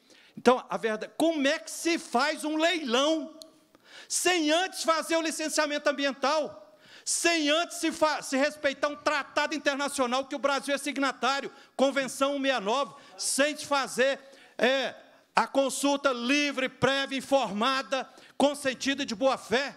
Então é uma obra ilegal, né? é injusta, é imoral, é autoritária, é eleitoreira. Sabemos que essa obra, usando, ajudou o Zema a ser reeleito. Oh, Encerro oh. dizendo, deputada, então vamos que, olha, errar. pelo amor de Deus, que essa discussão aqui, que os que falaram aqui, como o Vander, prefeito Vander, que eu conheço, nos ajudou na questão das ocupações da Zidora ali, dialogando, né? o prefeito Diego, eu peço, pelo amor de Deus, vamos levar a sério esse assunto e realmente procurar o caminho. O caminho são essas quatro alternativas. Porque, se necessário for, nós vamos levar essa obra faraônica, autoritária, eleitoreira, hidrocida e crocida, até os tribunais internacionais, que não pode acontecer é, causar desertificação aqui. Obrigada, Para Frei. as mineradoras ter uma infraestrutura para ampliar a mineração. Pelo amor de Deus, né? Quero, quero te agradecer. Fora rodominério! Obrigada, Frei Gilvander. Quero agora convidar o senhor Joviano Maia, assessor da deputada federal Célia Chacriabá. Eu vou pedir só um pouquinho, tá, gente? Para ser um pouquinho mais rápido. Bom, muito obrigado, deputado Ione. Seja bem-vindo. Boa Um tarde a todos e a todas. Eu sou Joviano, sou advogado, urbanista e também sou assessor da bancada do COCAR, da deputada federal Célia Chacriabá. Bom, primeiro, é, dizer que me choca muito um debate sobre um rodoanel metropolitano e ninguém aqui mencionou até agora o tema da emergência climática. né? Nem o promotor de meio ambiente. Né? Então, assim, de fato, é chocante a inércia do Ministério Público Estadual, não só no caso do Rodoanel, né, mas em diversas outras questões. Né? O próprio Procurador-Geral né, gasta muito tempo andando de jatinho por aí, né, fazendo outras articulações. Então, é muito grave a inércia do Ministério Público no trato da questão, né, especialmente da mineração do nosso Estado, no meio ambiente, mas e também no caso do Rodoanel. Né? Então, a gente espera que saia desse lugar de só escuta. Né? É, principalmente numa matéria tão atentatória aos direitos socioambientais.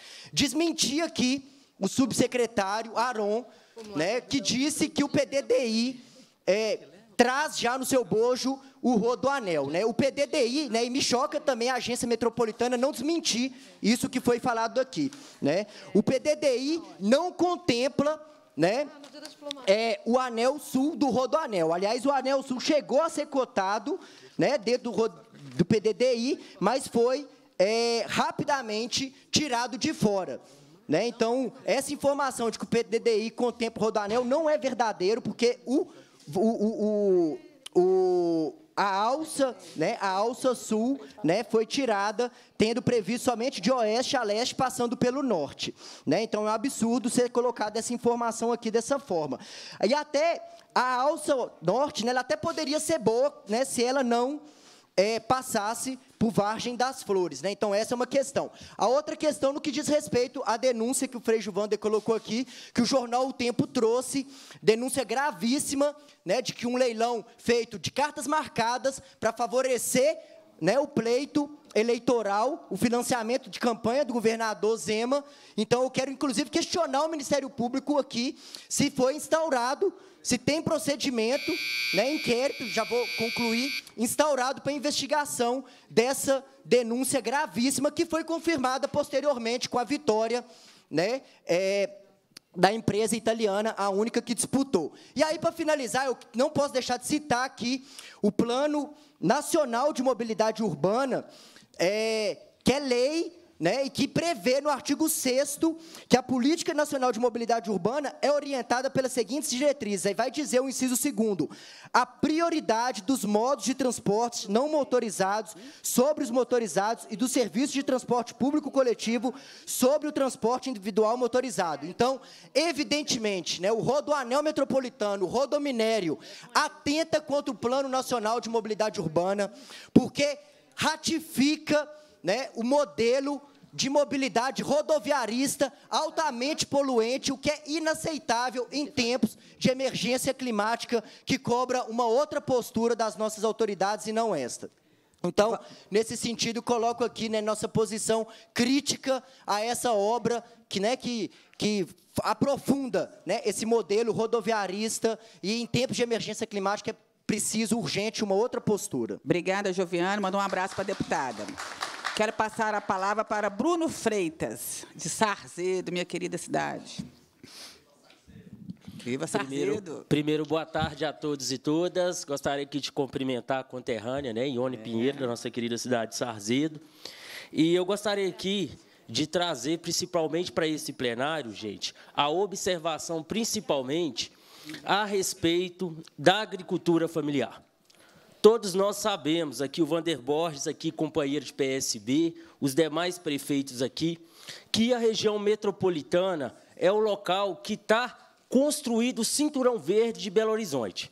O Rodoanel vai matar a agricultura familiar nessa região, que tem uma principal característica de abastecer Belo Horizonte.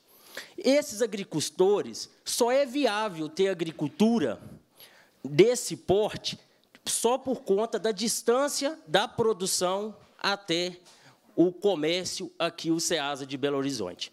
Aí eu gostaria de perguntar para vocês, o que está sendo pensado a respeito da agricultura familiar? O Vander Bosch trouxe muito bem, isso é um dano, isso é coisa que não tem como recuperar. E isso não está sendo discutido. E desde muito tempo que a própria FETAENG está tentando dialogar com o governo para levantar essa bandeira. O nosso presidente Wilson, várias vezes, tentou ir no governo estadual e não conseguiu atender essa demanda. E também gostaria de trazer aqui, existem as cidades que irão ter o impacto do Rodoanel. As cidades vizinhas têm que ser dialogada, tem que ter audiências públicas nessa cidade. A nossa cidade de Sarzedo vai mudar toda a característica. Esta região tem a característica de ter poucos proprietários de terra, mas milhares de agricultores. Milhares. Se vocês puxarem nos estudos que o Estado tem, eles só contam. Não, essa região tem cinco, seis proprietários de terra. Já conversei com ele. Isso é um alerta para o Ministério Público. Se não tiver intervenção no Ministério Público, se não tiver diálogo, é centenas de agricultores sem trabalho. É centenas de agricultores que estarão paralisando as obras do Rodoanel. Porque se não existir esse essa estratégia de ouvir, de discutir e de conversar com as cidades, a agricultura vai acabar em Mário Campos, vai acabar em Sarzedo, vai acabar em Brumadinho, igual o crime da Vale fez. E aqui eu fico, só para já encerrar, Ione, é muito triste o Estado pegar o recurso que veio de Brumadinho, usar para fazer o Rodoanel, e as cidades que estão estranguladas precisando pegar o seu recurso próprio para fazer duplicações de MGs, que é responsabilidade do Estado. Um exemplo aqui, Ibirité está fazendo, Sarzedo está fazendo, uma coisa que o Estado não tem competência de fazer. Muito obrigado. Obrigada, Bruno. Palavra Valdir Pontes. Gente, favor se identificar, tá? Não esqueça, vamos, vamos ficar no assunto do Rodoanel hoje. E em, pode ter certeza que nós vamos sim tentar levar nas cidades. Vamos fazer uma reunião aqui, uma audiência com o MRS, tá? E o Frei, você vai ser muito bem-vindo a sua participação, tá? Mas vamos fazer sim. Meu nome é Valdir Pontes, moro no, no, na comunidade, no bairro Nascentes Imperiais em Contagem. Aqui minha companheira esposa querida, que também é moradora, óbvio, mora comigo, também no bairro, e uma lutadora contra, contra essa obra. Bom, em primeiro lugar é o seguinte, até agora, eu vou falar dos impactos para economizar por causa do tempo, porque o antigo, o antigo é, secretário da infraestrutura foi no meu bairro duas vezes, tentar nos enganar, o senhor Fernando Marcato, que tentou marcar a nossa vida, mas não marcou, espero que porque foi embora, que é o seguinte, ele dizia que o nosso bairro ia ser afetado em torno de 30 a 40 casas. Por quê? Ele conseguiu ganhar uma, até uma parte da população para isso. Porque até agora, o governo do Estado não fez um estudo de impacto sequer econômico, social e ambiental para apresentar para a população e para todos os prefeitos que vão ser, de, de todas as regiões que vão ser atingidas por essa obra faraônica que para mim é uma gambiarra no valor de 5 bilhões de reais. É uma gambiarra porque eu sofri um acidente em 2005 no anel rodoviário, que eu quase morri, e lá eu aprendi nesse acidente de 2005 que bastava às vezes abrir os viadutos e somente a, a, a aumentar mais uma, uma, uma via em cada viaduto que você ia diminuir o que acontece no Betânia. Isso eu aprendi na prática, quase que eu perdi minhas pernas e minha vida. E um monte de gente passa por isso. Então estão agora aqui querendo se utilizar das vítimas dos acidentes para enfiar a goela abaixo para nós. E aí eu quero dizer que isso é uma crônica de uma, de uma tragédia é, anunciada que é acabar, que é acabar, botar na rua no meu bairro. Porque secretário da infraestrutura, nós fizemos o impacto para o nosso bairro da obra. Aqui tem 81 páginas que nós fizemos em conjunto com o projeto Rondon Minas. Sabe quantas casas vão ser impactadas no nosso bairro? 400 a 600 casas. Significa 2 mil famílias num bairro de 1.500 de 1.500 casas. Diretas. diretamente. Sabe qual é o crime? Olha só, vocês não vão tirar os caminhões do anel rodoviário. Mais um tempo, eu preciso de tempo. Porque aqui é muito grave o que está se discutindo, que são vidas humanas.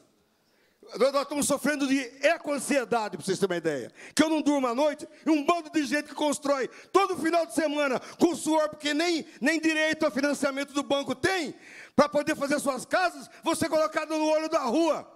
Então, olha só, isso aqui, o cara que fez isso aqui, desculpa o profissional, mas ele estava ouvindo a aquarela do, do Toquinho, e aí ele só copiou o trajeto. Ele só copiou o trajeto do antigo anel rodoviário. Presta atenção. Você acha que os caminhões vão fugir do anel para ir para lá? Não vai. Então, olha só, meus queridos. Olha só, prefeito. Então, eu vou dizer aqui o que vai acontecer no bairro Nascentes Imperiais. Cadê o vereador de, de Ibirité? Isso vai acontecer igual ou pior no Jardim das Rosas. Eles vão circundar inteirinho pelo dados do CIFRA que está no Google Earth, do projeto que foi apresentado para as concessionárias, vão circundar inteirinho o bairro Jardim das Rosas. Que sabe o que eles vão fazer? Em Betim, vão destruir parte do, do, do da, da, de moradias em, Betim. Vou falar uma coisa para os prefeitos, aqueles que a maioria que estão aqui. Foi feito é, estudo de impacto econômico para os municípios, sabe o que, que vai carregar nas costas de vocês? Porque parece que a gente está vivendo, parece que o entendimento é diferente, então parece que nós estamos em, em universos paralelos aqui. Sabe o que vai cair nas costas de vocês? 15 mil casas é, é, destruídas, 60 mil pessoas. O, o, o, governo e ninguém resolveu o problema de, de, Bento Rodrigues, que foram 250 casas e há sete anos está tentando repor a casa e não repõe. Eu quero saber o que os prefeitos, a responsabilidade que eles têm, vão fazer com 60 mil pessoas que vão colocadas para fora de suas casas, consequentemente com indenização irrisória, que é o que histórico que aplica dessa, dessa realidade. Quero chamar essa atenção. Então, se for em detrimento da população, Favor, em detrimento do meio ambiente, para sacrificar as pessoas, o meio ambiente, a nossa palavra de ordem vai ser fora Rodoanel. Favor, favor. Quero passar a palavra aqui a Vanessa Portugal. Gente, vou pedir para a gente ficar no tema Rodoanel. Estou aqui, né? Mas é o tempo. Deputada, obrigada, tá? mas o tema Nada. colocado por todas as pessoas aqui foi o Rodonel. Eu estou sendo generosa com o tempo com todo mundo. estou sendo compreensiva, estou pedindo vocês também para me ajudar. Gente, tá é, eu sou Vanessa, juntos. eu falo aqui em nome do PSTU, que é o meu partido. Mas, enfim, eu queria só levantar algumas questões, porque eu acho que, em especial, o Wander foi muito citado aqui, porque ele foi muito ponderado na sua fala. É óbvio e eu já falei isso milhões de vezes, que precisa ter uma solução, tanto para 381, embora o Rodoanel não seja uma solução para 381, e precisa de uma solução para o anel rodoviário de Belo Horizonte. E é óbvio isso, isso é consenso. Qual que é a questão, gente? O Rodoanel não é a solução. Primeiro, porque ele não vai ter a circulação de carros, porque ele não tem sequer entrada para os carros entrarem nele. Né? Segundo, é inaceitável que já tenha se chegado à conclusão de que não tem dano ambiental. Quantas nascentes precisam ser destruídas para se considerar que uma obra é um dano ambiental irreversível? Qual é o cálculo? Qual é o cálculo, gente? A priori, construção de estrada não é proibido no Brasil, é óbvio que não. Mas nós vivemos numa região circulada por mineração, que já tem uma destruição ambiental tremenda. Então, como é que você chega a uma conclusão antes de fazer o relatório de impacto ambiental? Agora, gente, quem é burro aqui? Nós não somos e vocês muito menos. Porque estão aí. Agora, me diga uma coisa. Vamos lá. Já foi feito o leilão. Já foi entregue. Alguém aqui tem dúvida de que o dinheiro para a empresa não vai cair na conta da empresa que ganhou a concessão da obra? Que vai reverter o processo se depois do relatório ambiental chegar à conclusão que não vai dar? Segundo, peça de ficção desenvolvimento econômico. Tem dó, gente. Com base qual indicativo econômico vai ter X% de desenvolvimento do PIB? Dó? A mineração desenvolve PIB nesse estado? A mineração sequer paga imposto nesse estado. Vai ampliar a mineração, destruir os municípios, sabe o que, que vai trazer? Miséria para o vetor norte. Miséria. Sabe por que, que é miséria? Porque não tem aqui junto agregamento de industrialização do minério. Não tem previsão para isso. É escoamento e miséria. Por que é que o histórico de ter transformado Minas Gerais numa base de exportador de commodities do minério foi isso. E o Rodanel é a contrapartida para isso. Não é para outra coisa. Tem dó, gente. É uma questão de o um mínimo de racionalidade. O um mínimo de racionalidade. Não tem no estudo demonstrado quantas casas vão ser destruídas. Como que é isso? Não tem aí no, no papel que vocês mostraram? Quantas nascentes vão ser soterradas? Quantas casas vão ser destruídas? Qual é o plano de mitigação para isso? Qual é? E finalizo dizendo: olha, gente, o projeto em si já é um absurdo. Alguém dizer que uma indenização paga pela Vale por um crime que ela aconteceu pode ser utilizada em benefício próprio da empresa é de um grau de imoralidade absoluto. Absoluto. A empresa pagou as mortes construindo uma via de escoamento do seu próprio produto. Isso é um absurdo completo. Obrigada. Obrigada, Vanessa. Quero passar a palavra a Cristina Maria de Oliveira.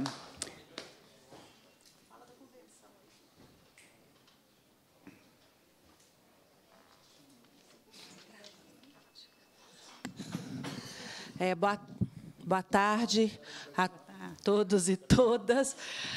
É, eu também quero agradecer a deputada, viu? Porque pela primeira vez a gente tem alguns prefeitos participando dessa audiência. E dizer para os representantes do governo, o secretário novo e o, o esse outra. Você é o. Vi, é, Vita e Aron secretário também, né? Não sei. Essas duas pessoas que entraram agora. Nós estamos há dois anos fazendo esse debate sobre o Rodoanel. E nós fizemos dois seminários com a participação das universidades, com a participação de técnicos, com a participação das pessoas que elaboraram o PDDI. E o rodoanel que está proposto no PDDI não é esse. Porque o rodoanel proposto no PDDI era para interligar cidades metropolitanas, da região metropolitana. Esse rodoanel é uma via de passagem. A gente não pode pensar uma obra de mobilidade urbana sem levar em consideração a mobilidade das pessoas. Esse rodoanel é para mobilidade de carga de caminhão que vai passar pelo nosso estado. Ele não vai contribuir para o transporte coletivo, que é um caos na região metropolitana. Então, vocês que são os técnicos aí do governo, vocês deveriam levar em consideração que uma obra desse porte, 5 bilhões, ela precisa levar em consideração a mobilidade das pessoas. E aí, Frei Gilvanda já colocou aqui essa conclusão é de muito estudo que a gente fez sobre as obras de mobilidade que levam em consideração também as pessoas. E uma delas, uma delas, uma das propostas que o engenheiro Euler fez no nosso seminário, que o seminário não era só para dizer não pelo não, mas era para construir alternativas também, é a duplicação aérea do atual anel rodoviário.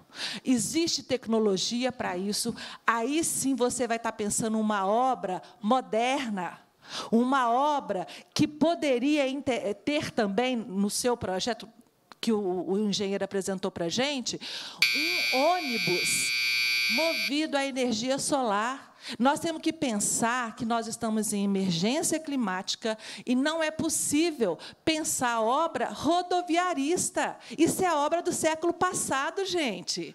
Não tem como Minas Gerais fazer outra rodovia do zero se tem possibilidade de aproveitar o que já existe. E só para concluir, porque eu sou a Cristina do movimento SOS Vargem das Flores, não dá para a gente colocar em risco nenhum manancial também. Vargem das Flores é a única represa que não vai ser atingida pelas mineradoras, pela lama das mineradoras, porque todas as nascentes nascem lá.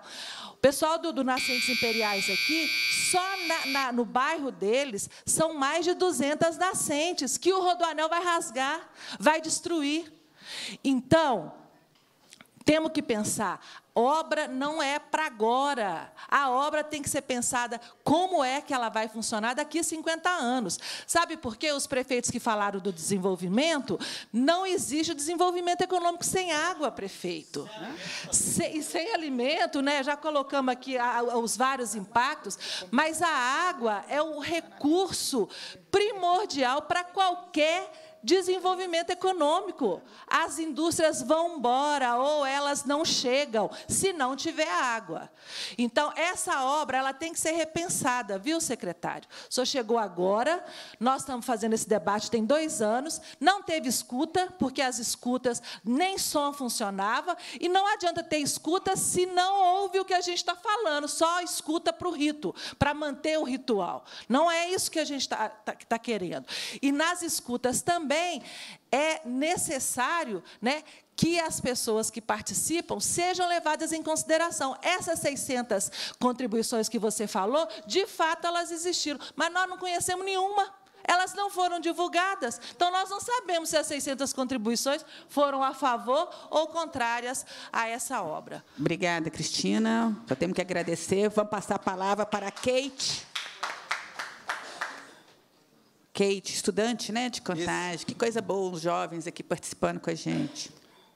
Obrigado, Iori. Meu nome é Kate Richard, como você já mencionou. Sou do movimento SOS Vargem das Flores e do Lambuzados também. Eu agradeço a você pela escuta, também a todos os presentes e a população que está aqui com a gente. Bom, eu fui bem contemplado pelos meus colegas, mas eu queria remeter à origem né, da obra.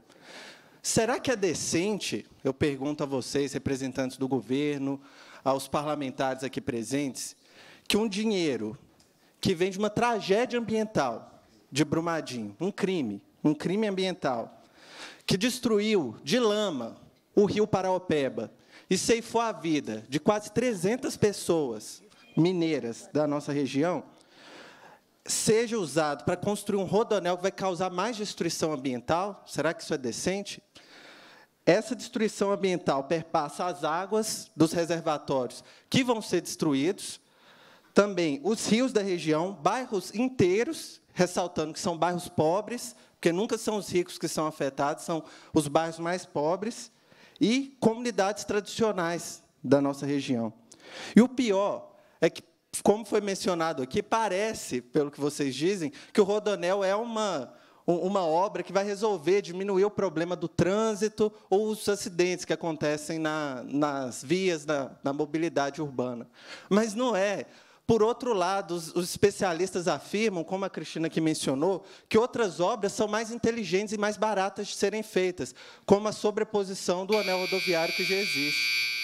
E, bom, só mencionando, eu queria perguntar para os que defendem a obra que vocês eu queria que vocês fossem mais justos, dizendo no discurso de vocês que essa obra não serve ao interesse da população mineira. Ela serve para grandes empresários que querem ter uma via de escoamento da mercadoria deles. Simples assim. O rodonel vem da lama, da morte, e a mão de vocês vai estar sobre esse crime que vai ser o rodonel se ele for construído. Muito obrigado. Obrigada, Kate. Quero passar a palavra para Glaucon Durães.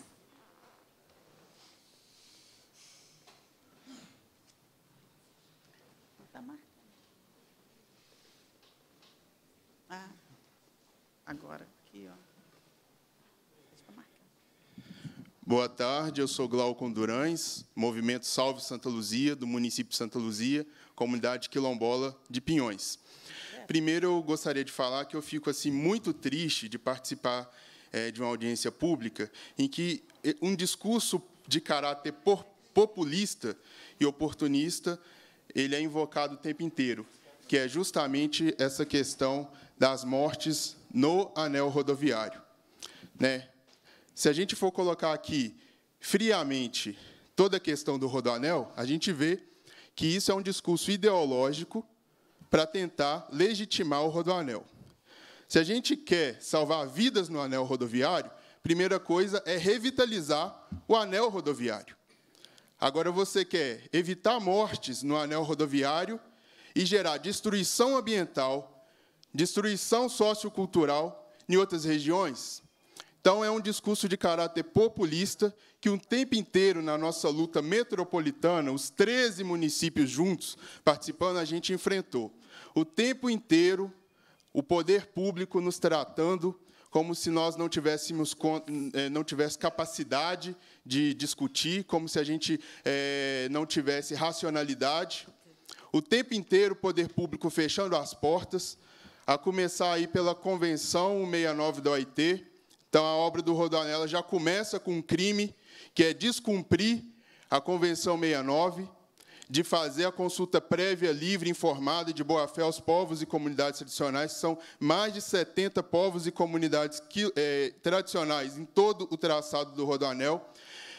Depois, uma tentativa de regulamentação da consulta, tirando os direitos dos povos e comunidades tradicionais, justamente para não fazer a consulta prévia aos povos e comunidades tradicionais. Graças a Deus, conseguimos derrubar essa resolução da Semana da SEDES.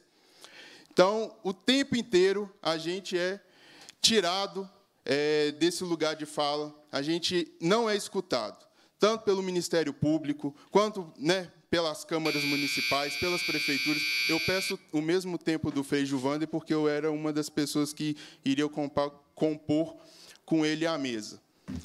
Então, o tempo inteiro, a nossa luta é menosprezada né, pelo poder público. A gente não é ouvido, seja a, a gente participou de todas as audiências públicas feitas pelo governo de Minas, em todas elas foi audiências de caráter pro forma, sem objetivo nenhum de escutar a população, com propaganda proselitista de falar o Rodanel é um sonho do povo de Minas Gerais. Uma propaganda impositória que impõe uma obra que a gente considera ser de racismo ambiental, porque coloca em risco as comunidades tradicionais ao entorno desse, dessa obra. Muito triste também com o poder público da minha cidade, que em momento nenhum se mostrou interessado em defender os interesses de Santa Luzia. E aí eu gostaria até de fazer uma pergunta.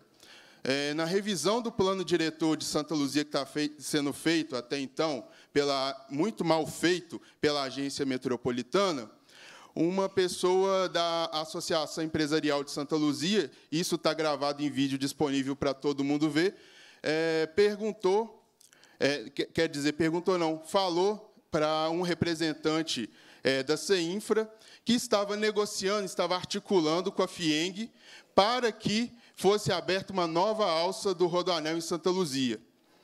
E aí, naquela oportunidade, a gente falou assim: veja bem, o governo de Minas Gerais já falou várias vezes, em toda oportunidade, que o Rodoanel só vai encontrar com os municípios onde tiver rodovia estadual.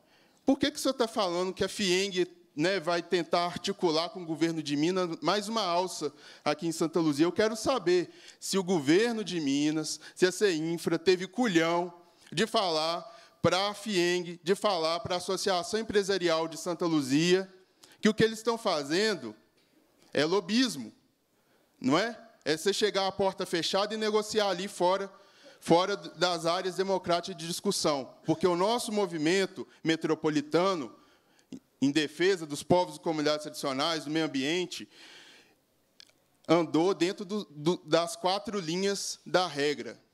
Em momento nenhum a gente fugiu em nada da lei, uma vírgula da lei. Então, fica parecendo que, de fato, quem governa Minas Gerais é a FIENG. Fica parecendo que, de fato, é, o único interesse do Rodoanel é a mineração. Sendo que nós, cidadãos aqui da região metropolitana de Belo Horizonte, estamos interessados na melhoria do transporte público, que o Rodoanel não vai trazer, porque ele não tem o objetivo de fazer integração metropolitana. Sendo que nós queremos um transporte mais barato, não essa privatização que está acontecendo de metrô, não essa privatização que está acontecendo, enfim, em todo o setor do transporte público aqui pela CEINFRA, presente. Então, eu fico aqui muito indignado, novamente, numa audiência pública, que a gente poderia elevar a discussão, trazendo mais dados, trazendo seriedade, e fica com esse caráter populista de instituições que têm até função aqui técnica, né, de trazer esse discurso da morte, né, como que tivesse de fato interessado a salvar vidas, e nenhuma preocupação, preocupação zero, com o, verdadeiro desenvolvimento do Estado de Minas Gerais.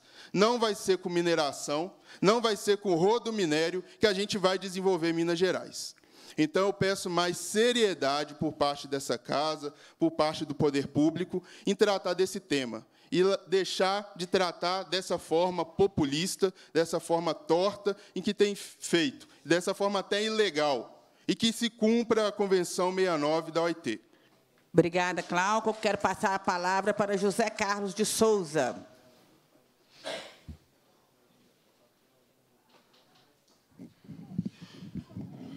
Boa tarde a todos, todas e todos. É, parabenizar a iniciativa de trazer mais uma vez esse debate para essa casa. E agora, com a presença de prefeitos, vereadores, e que deixa a gente satisfeito, porque quando a gente fala, quando alguém mente, é muito pesado isso.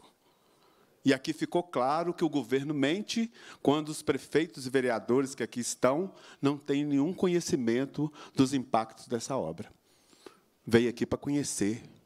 Quando a coisa já está já em andamento, já foi né, leiloado, está dependendo agora de, de, de, de de levantamento de impacto ambiental. Sabe? Então, a gente fica satisfeito que esses dois anos de batalha, a gente não viu a mobilização de nenhum poder legislativo, executivo, de fato, para fazer frente a essa obra que não traz melhoria nenhuma para as nossas populações. Eu também milito em Santa Luzia, né, movimento negro, no PT de Santa Luzia, e esses últimos anos foi terrível para a gente fazer esse debate, nós fomos desmerecidos nas audiências públicas. Tem uma que até mandou a gente saísse se a gente não tinha condição de contribuir tecnicamente para a obra. Esse é o tratamento né, que foi dispensado para a gente. Sabe? Mas a nossa resistência, a nossa resiliência está valendo. Só de ouvir aqui hoje né, que os prefeitos que estão aqui, vereadores, não têm conhecimento de fato do que, que está, o, o monstro que está para passar sobre as nossas cabeças. Sabe? que façam essa reflexão, que de fato procurem ouvir seus munícipes. Procurem vereadores, prefeitos, procurem ouvir. Porque é terrível a gente lutar sozinho enquanto os prefeitos, vereadores estão lá atrelados com o governo do Estado, né, esperando recursos para suas reeleições. Cruel isso com o povo. Esses 5 bilhões que deveriam estar colocados aí, né, poderia estar no transporte. Porque é doído quando vem falar aqui de mortes no anel rodoviário. E desculpe, Wanda, quando você coloca aí a morte dos seus, né, de Sabará, foi de Ravena para cima, do 30 para cima, e o anel começa, a entrada dele entra em Ravena. Então lá é um processo de duplicação, né, que está sendo né, é, é, é, é, emblemático isso aí. Mas o rodoanel começa de Ravena para cá, que não vai trazer solução para a gente. Esse ano, né, 20, de, 20 de janeiro, 29 feridos nos acidentes de transporte do MOV aqui na região metropolitana. Dia 19 do 5, né, em menos de quatro horas, foi quatro acidentes com os ônibus do MOV, coordenado pelo governo do Estado. 29 feridos querem morte, é só fazer o levantamento, porque todo dia tem gente morrendo no transporte, adoecido, de ficar muito tempo na espera de ir para casa, sem locomoção, sem cobrador. Quer, quer, quer cuidar da vida do povo? Quer cuidar da vida do seu povo? Vamos pegar esse governo e colocar esses 5 bilhões para resolver o problema do transporte metropolitano e não fazer uma obra para beneficiar a assassina da Vale no escoamento do seu produto. Sabe? Então, essa é a reflexão que a gente quer trazer e satisfeito de ver vocês aqui hoje, né, é, é, tomando um arzinho desse sofrimento que a gente vem aí nesses últimos dois anos. Muito obrigado. Obrigada, Zé Carlos. A palavra ao senhor José Cassimiro.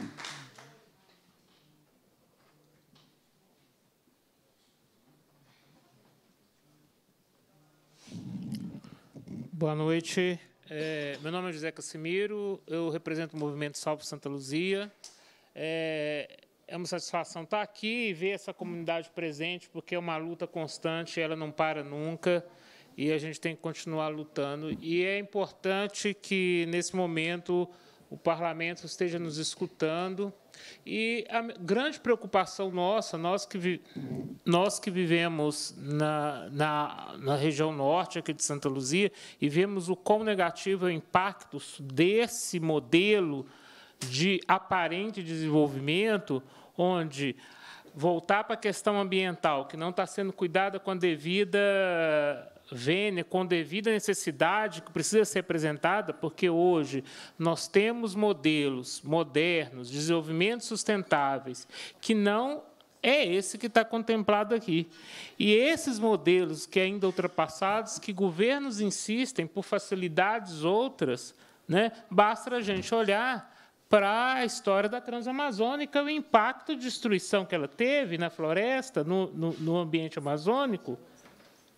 Mas não é só lá. Né? Se você olhar para São Paulo, para o Rodanel Maricovas, toda a favelização, destruição do ambiente ao entorno já daria para mostrar o quão negativo esse tipo de modelo de aparente desenvolvimento impacta. Em Santa Luzia, onde estão previstos passar 13 quilômetros da via, 13 quilômetros.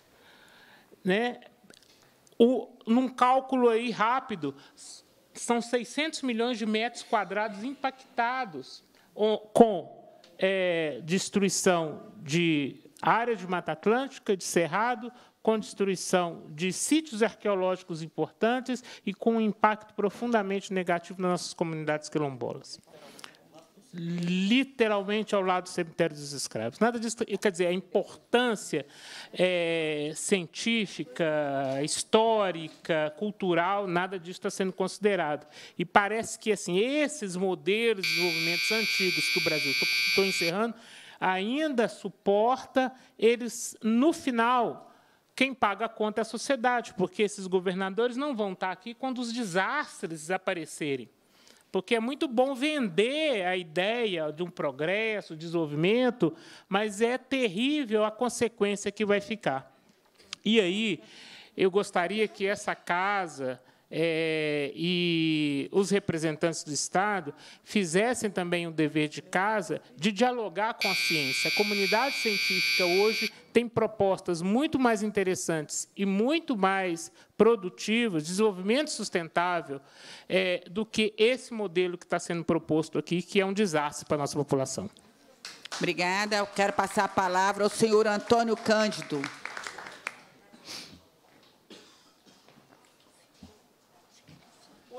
Quero. Saltou meu nome? Pode primeiro. Qual que é o seu nome? Estava na pode, frente pode, dele. Pode, pode, pode, então pode, vamos lá, senhor Tarcísio Moraes, mas o senhor ia ser o próximo.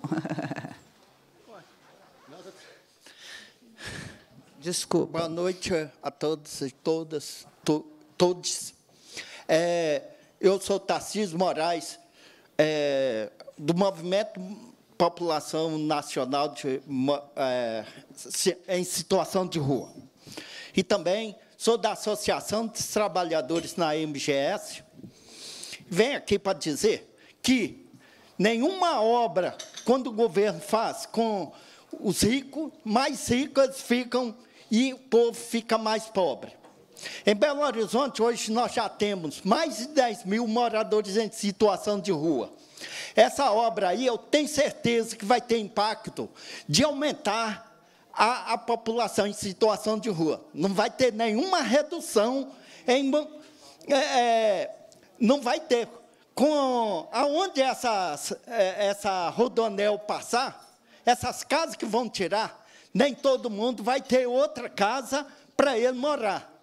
Então, isso eu coloco que é, para a situação em, eh, de pessoas em situação de rua, isso vai só aumentar. É isso que eu quero colocar aqui, que alertar, por causa que não é a primeira vez que faz obras que a população se, é, é, de rua seja aumentada. Isso aconteceu em 2014 com as obras da, da Copa.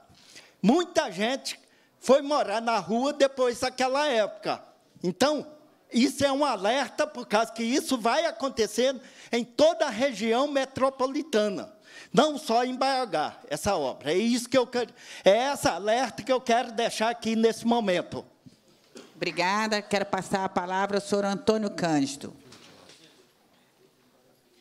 Boa noite. Boa noite, pessoal da casa. O deputado, eu agradeço é, de estar puxando essa audiência hoje. Estou satisfeito também que tem prefeitos, vereadores de várias cidades da região metropolitana.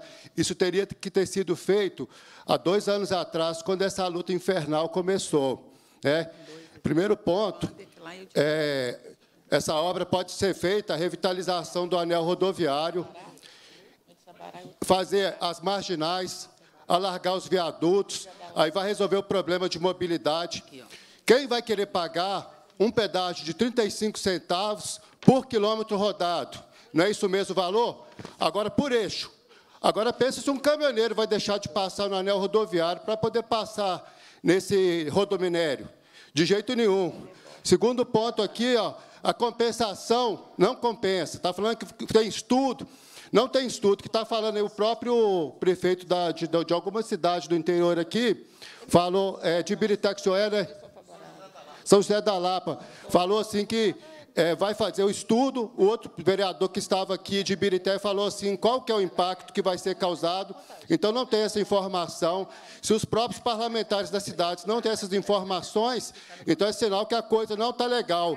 Tem que acabar com esse leilão, tem que dizimar esse leilão e fazer o processo todo para avaliar os impactos ambientais, as moradias, as comunidades tradicionais que não estão sendo respeitadas, a ancestralidade. É, isso é crime de saúde pública que está fazendo com a região metropolitana. A conta vai vir, mas depois. Eu quero ver se vocês vão estar aqui, igual nosso amigo Kate falou. Vocês vão estar sujando a mão de vocês de lama. Sabará, Sabará, sim. Primeira vez que estou vendo alguém de Sabará nessas audiências do Rodoanel, em dois anos que eu participo das audiências. Então, a gente tem que pensar isso tem a judicialização por parte de Contagem e Betim contra o Rodoanel. Então, está errado isso aí. Então, revejam isso. Se apoiar esse rodominério, vocês vão estar apoiando um crime que a Vale fez. Vão sujar a mão de vocês de sangue e de lama. Boa noite. Obrigado, quero agradecer. Quero passar aqui agora a palavra para a deputada Bela para as suas considerações finais. Tá certo. Pessoal, também estou satisfeita com essa audiência pública, porque talvez tenha sido um dos primeiros momentos, deputada Ione, de debate presencial dos representantes de prefeituras e aí cumprimentos prefeitos, do governo do Estado, com parte da população atingida, que tem se mobilizado, que tem que tentou, durante a pandemia, participar das plenárias, sempre com muita dificuldade, sempre questionando, inclusive, a metodologia falha dessas plenárias, né? É, que não eram participação de fato. Né? E muitas questões não foram, de fato, respondidas aqui, e eu espero que sejam respondidas é, agora nas considerações finais, em especial do Estado. A primeira coisa, gente, é que, assim, de onde vêm esses dados de que menos 200 acidentes serão assegurados por ano, de que o PIB vai crescer 7 a 10 por ano, que vai gerar 10 mil empregos, que o PIB vai ter um crescimento absurdo? De onde vêm esses dados? Você não pode sair jogando numa comissão as informações que não tem sequer a fonte de escrita. Porque, senão, de fato, você está apresentando uma informação, enquanto gestor público, equivocada. Então, eu quero ver os estudos que embasaram os dados que foram trazidos aqui nessa audiência pública. E acho que a população quer isso. Porque não é possível você dizer que automaticamente né, a construção do rodoanel resolverá os problemas do anel rodoviário. E isso, inclusive, é covardia. Eu acompanho há muitos anos as famílias atingidas pelo anel rodoviário. Já acompanhei, junto com o Frei Juvander, inclusive, aqui em cumprimento, né, a situação das famílias da Vila da Paz, da Vila da Luz, comunidades que começaram um processo de reassentamento digno, é, interrompido. E isso não parece ser uma preocupação do governo do Estado. O reassentamento das famílias que estão nas margens do anel rodoviário. Segunda questão, né? A construção de áreas de escape no anel rodoviário. Nenhum centavo desse recurso que é para mobilidade urbana vai pensar as áreas de escape que sim prevêem, é, previnem muitos acidentes no anel rodoviário. Mais do que isso, né? Assim, a construção de passarelas, gente, é básico. Passarela, Ione. Assim, a gente vê que a população tem que sair correndo no meio do anel rodoviário para poder atravessar no meio daquele trânsito de carreta, caminhão e carro, porque às vezes não tem passarelas. Mas nenhum desses investimentos foi pensado. Muito pelo contrário.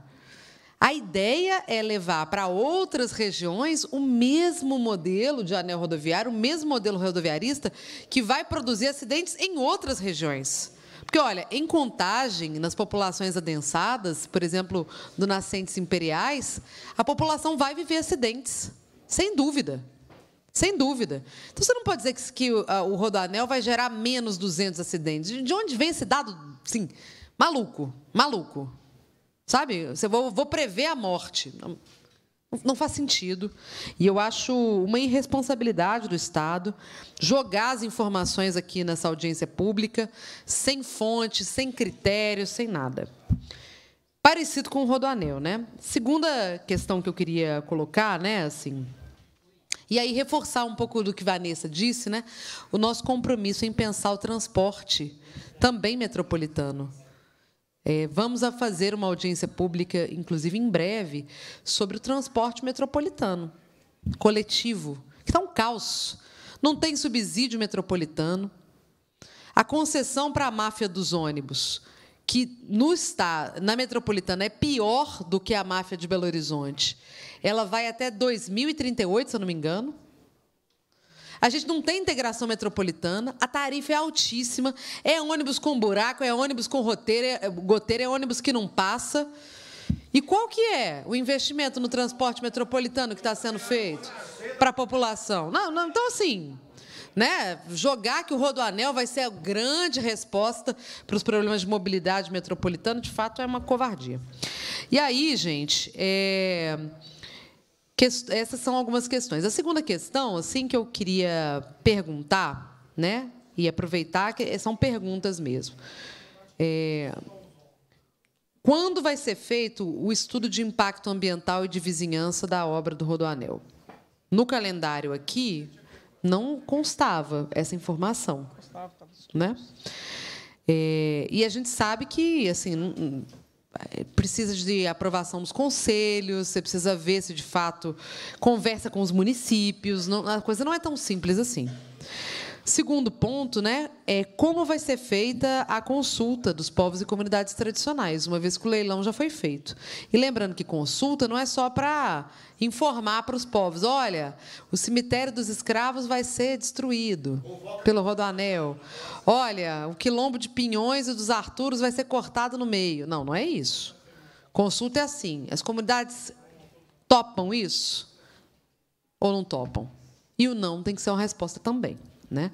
É, eu falo isso porque a gente está aqui, leiloando Rodoanel, colocando 5 bilhões de reais do acordo de repactuação para a construção do Rodoanel. Só que a insegurança jurídica, inclusive, desse empreendimento é muito grande. Porque pode dar pau no licenciamento ambiental, Pode dar pau na justiça pela ausência de consulta das comunidades tradicionais. E aí você vai fazer o quê? Vai fazer aquelas obras incompletas. Faz uma alcinha aqui que não liga com a outra, que não liga com a outra, que não liga. Não, gente, isso é responsabilidade do Estado. Isso é responsabilidade para as prefeituras. É importante ter prefeitos aqui. Os prefeitos estão acreditando que vai vir um, um projeto que vai trazer desenvolvimento para os territórios.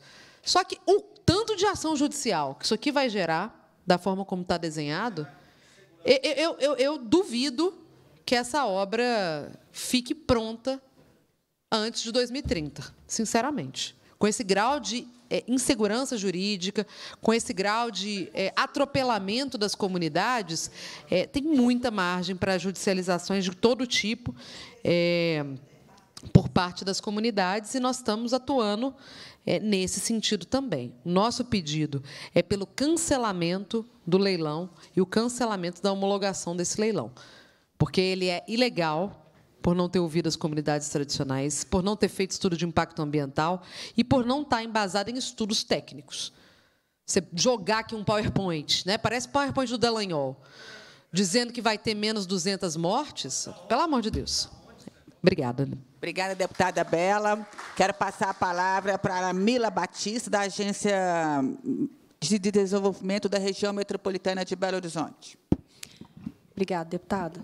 Bom, colocar a agência sempre à disposição. E só para esclarecer para o Joviano, né, que levantou a questão do PDDI, Joviano, e a Cristina também, o PDDI de 2011, ele prevê o ZIM Rodoanel, que é a Zona de Interesse Metropolitano, e o ZIM Vargem das Flores, e realmente é, é, era só uma diretriz, né? não é o traçado. Então, só para esclarecer, foi um estudo elaborado pela UFMG, que está ainda em vigor, e que a gente espera que seja convertido em lei para se sobrepor aos planos diretores municipais, inclusive. Obrigada.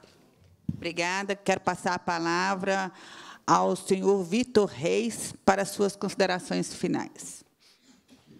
Obrigado, deputada. É, reiterando aqui, né, a gente trouxe alguns pontos e a gente não pode esquecer que a gente está tratando novamente de um projeto e o que a gente está tá discutindo dentro do contexto do licenciamento ambiental, que ainda será formalizado, a gente terá muitas etapas de avaliação desses impactos. É, deputada Bela de fato, o EIA ainda não está elaborado, é, não existe um processo de licenciamento ambiental em trâmite na Secretaria de Meio Ambiente, e, logicamente, que quando esse processo tiver com suas bases conceituais mapeadas sobre impactos de meio ambiente, a gente vai fazer uma avaliação nesse sentido. É, eu esqueci o nome da senhora. Vanessa, é, respondendo a sua pergunta direta, a gente não está falando em nenhum momento que não existe dano. A gente está falando que os danos e impactos ambientais estão em uma fase de concepção, de avaliação, e o licenciamento ambiental conduzido pela Secretaria de Meio Ambiente vai trazer a oportunidade de qualquer impacto ambiental que esteja mapeado e seja permitido pelo, pelo ordenamento jurídico, que ele seja devidamente mitigado, compensado, seja, seja composto de medidas mitigadoras para esse impacto, dentro da avaliação de viabilidade ambiental e dentro de uma avaliação da possibilidade de instalação e operação dessa atividade. É, a gente não tem uma, nenhum tipo de concepção pré realizada. O que, que a gente precisa é o levantamento dos estudos ambientais que vão analisar impactos no meio biótico, no meio físico, no meio socioeconômico, e, a partir disso, aí sim a gente vai formar uma convicção sobre a viabilidade ambiental desse empreendimento. É, o que, que a gente está querendo dizer com, com a fala é que hoje a gente não tem o material técnico para ter a mínima convicção sobre o assunto. Né? É, então, a gente vai ter toda essa etapa do processo de licenciamento, inclusive com as necessidades e ritos procedimentais que são inerentes a uma atividade de efetivo é, potencial poluidor, né, de significativo impacto poluidor, que vai ser instruída com o EIA-RIMA. Então, é, a gente não tem nenhum tipo de preconcepção sobre esse assunto, porque é uma fase de projeto. Quando os estudos estiverem disponíveis, vão estar acessíveis a toda a população, seja no seu aspecto técnico de EIA, seja no seu aspecto é, familiarizado de linguagem no RIMA para toda a população. Então, o processo de licenciamento seguirá todas essas etapas de avaliação de viabilidade ambiental. É, hoje, deputada Bela, ao que temos notícia, é, está sendo elaborados estudos de fauna e flora que precisam ser feitos em duas campanhas para garantir que tanto no período chuvoso quanto no período seco é, sejam realizadas avaliações sobre esse meio biótico. Então, tanto a questão, agora que nós estamos no período seco, está sendo avaliado com critérios que foram apresentados e foram expedidas até o momento pela Secretaria de Meio Ambiente, tão somente autorização para manejos de fauna em favor do, empreendimento, para que ele possa fazer os diagnósticos ambientais desse, desse local no período seco. Assim que a gente entrar em um novo período chuvoso, que tem uma outra característica técnica e de desenvolvimento do, das espécies dentro da região diretamente afetada pelo empreendimento, a gente vai ter uma nova etapa desse estudo e todos os outros pontos que serão necessários para um desenvolvimento de E vão ser cobrados dentro do processo de licenciamento e, logicamente, aquilo que não tiver devidamente instruído tecnicamente serão objetos de informação complementar, serão objetos de audiência pública no curso do processo e serão devidamente motivados, principalmente motivados tecnicamente, dentro do nosso curso de procedimento. Obrigada, Vitor. Com certeza, nós faremos, sim, outras audiências. Né? É importante a construção. É, para passar aqui a palavra para suas considerações finais ao nosso subsecretário Aaron Duarte.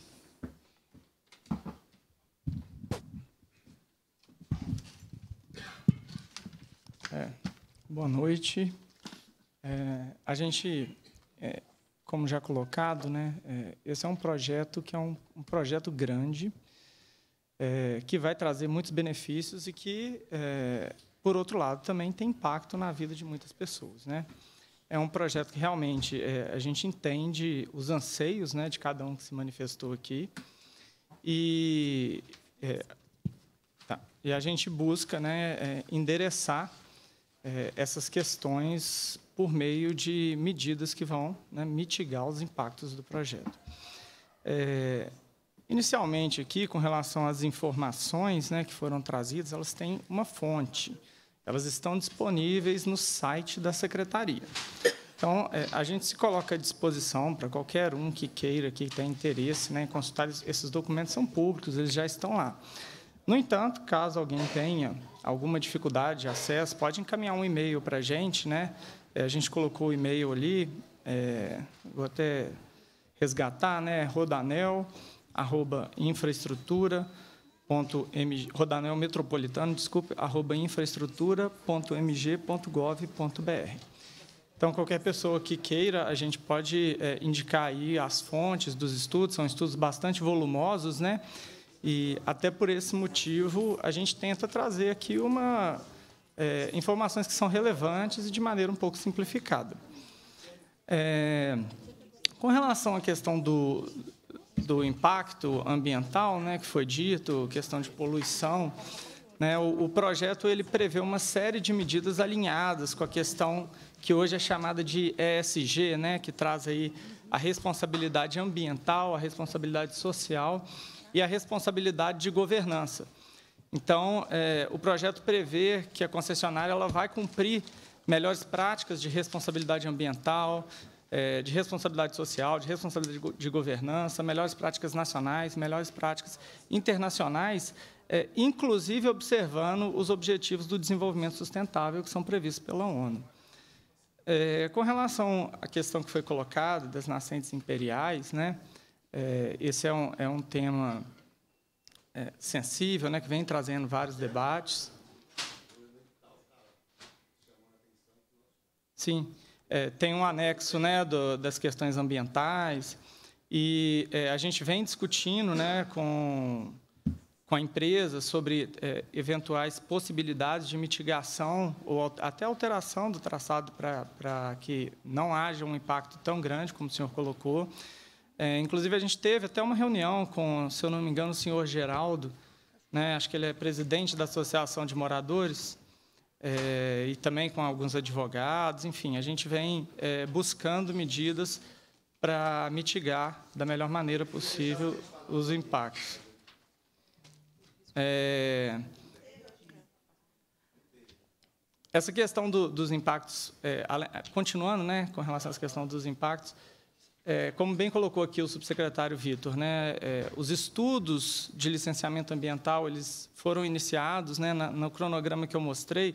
É, talvez não tenham ficado claro, mas tinha uma parte lá que estava escrito estudos, que significa é, inclui a parte de estudos ambientais.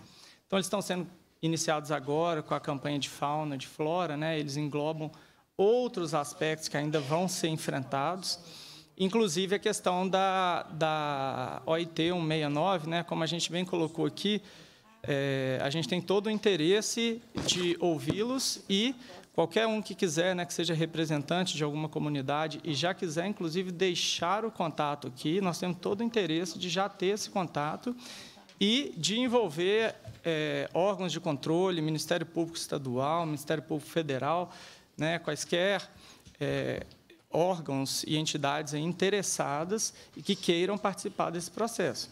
A gente é, tem todo o interesse, repito, em ouvir e peço que os contatos sejam deixados aqui para a gente. É, a questão do, do, dos caminhões, né, há uma previsão de que, é, vou até inverter essa ordem, que eu acho que fica melhor, a questão do, do anel existente, né, ele é um anel de responsabilidade do DENIT. Né, então, é, muitas dessas questões que foram colocadas aqui, elas é, já foram, inclusive, endereçadas pelo Estado ao DENIT, né, no sentido de melhorar o fluxo aí e realização de investimentos no, no, no ANEL.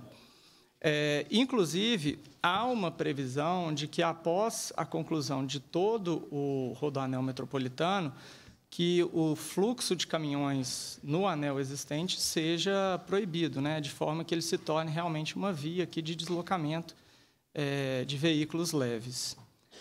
É, com relação ao que foi colocado do cemitério dos escravos né, em Santa Luzia, da mesma forma que vem sendo discutido é, em relação às nascentes imperiais, a gente vem é, buscando uma alternativa também. Né? Hoje, é, o rodoanel o rodoanel está previsto né, de passar 200 metros do cemitério dos escravos, e a gente vem buscando alternativas de traçado aí que busquem é, preservar da melhor maneira possível é, esse, esse bem né, que existe.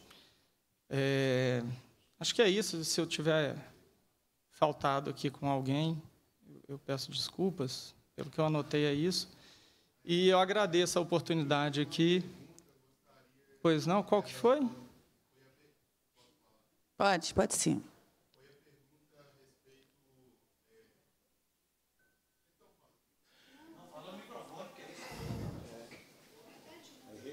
Repete o seu nome, por favor, a entidade que você está representando. Faz a pergunta novamente. Sou Glaucon, do Movimento Salve Santa Luzia, comunidade quilombola de Pinhões, em Santa Luzia. É, eu havia perguntado a respeito é, de uma, de uma conversa que houve em uma reunião da revisão do Plano Diretor de Santa Luzia, em que é, uma pessoa representando a Associação Empresarial de Santa Luzia, na ocasião que se discutia o Rodoanel, disse que estava fazendo articulação com a FIENG para conseguir a abertura de uma nova alça do Rodoanel em Santa Luzia, que não fosse encontrar com é, rodovia estadual ou federal. E aí a gente sabe, pelas várias audiências públicas, o governo de Minas já negou isso para a Prefeitura de Santa Luzia e para a Associação Empresarial, mas nessa reunião que foi póstuma, eles falaram que estava fazendo articulação com a FIENG. E eu quero saber é, se vai ser atendido né, essa demanda que a Prefeitura de Santa Luzia já apresentou e que a associação também apresentou, de ser aberta uma alça do Rodoanel fora do encontro com rodovia estadual ou federal. É, o, o, traçado do Rodanel, que é o traçado que foi apresentado aqui, né, ele é o traçado diretriz que foi licitado. Então, é, o, o, o que existe hoje é o que está licitado né, na, e, e que foi concedido e que ainda está né, nessa avaliação de licenciamento ambiental. Então, eu, eu desconheço essa conversa e o que existe hoje é o traçado que está colocado lá, inclusive disponível no site da Secretaria. Obrigada, Aron. Eu queria pedir, Aron, que você disponibilizasse esta apresentação que foi feita aqui hoje, né, no site da audiência pública, tá? Que ficasse à disposição de todos aqui presentes e de toda a sociedade mineira. A presidência indaga aos demais convidados se desejam fazer uso da palavra para suas considerações finais.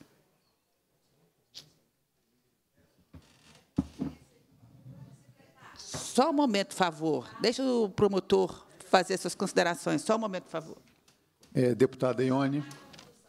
Quando terminar, eu posso conversar ou você quer que eu te fale agora? Não, ele é promotor. De parte do Ministério Público, eh, nós gostaríamos eh, de louvar a iniciativa da, da, da audiência. Acho que é uma questão importante, tem que ser muito discutida. Né? É lógico que, como foi colocado pela representante do, do órgão ambiental também, no licenciamento ambiental, existe ali o, o, o momento também adequado né, para audiência pública, para discussão. E eu queria dizer né, para os presentes que nós estamos à disposição eu não, não, estive com o senhor, o senhor fez uma referência ao Ministério Público, né? É, eu não conheço, não tive com o senhor anteriormente, mas estou à disposição do senhor para é, conversar, receber né, qualquer tipo de informação e processar isso no âmbito do Ministério Público de Minas, ok? Não sei se meu colega quer fazer alguma. Obrigada, doutor Leonardo. É, apenas é, ratificar as palavras do doutor Leonardo, agradecer o convite gentil feito pela, pelo parlamento. A deputada Bela também tive a oportunidade de cumprimentá-la na primeira fala. É, ouvi atentamente a fala de todas as pessoas é, e, repito, não é o que nós dissemos na nossa fala inicial, no sentido de que o Ministério Público na área ambiental irá acompanhar o licenciamento ambiental ah, que não está formalizado ainda, não é? mas tão logo o estudo de impacto ambiental seja disponibilizado, o Ministério Público irá fazer as suas avaliações, como sempre faz, à luz não é, do ordenamento jurídico.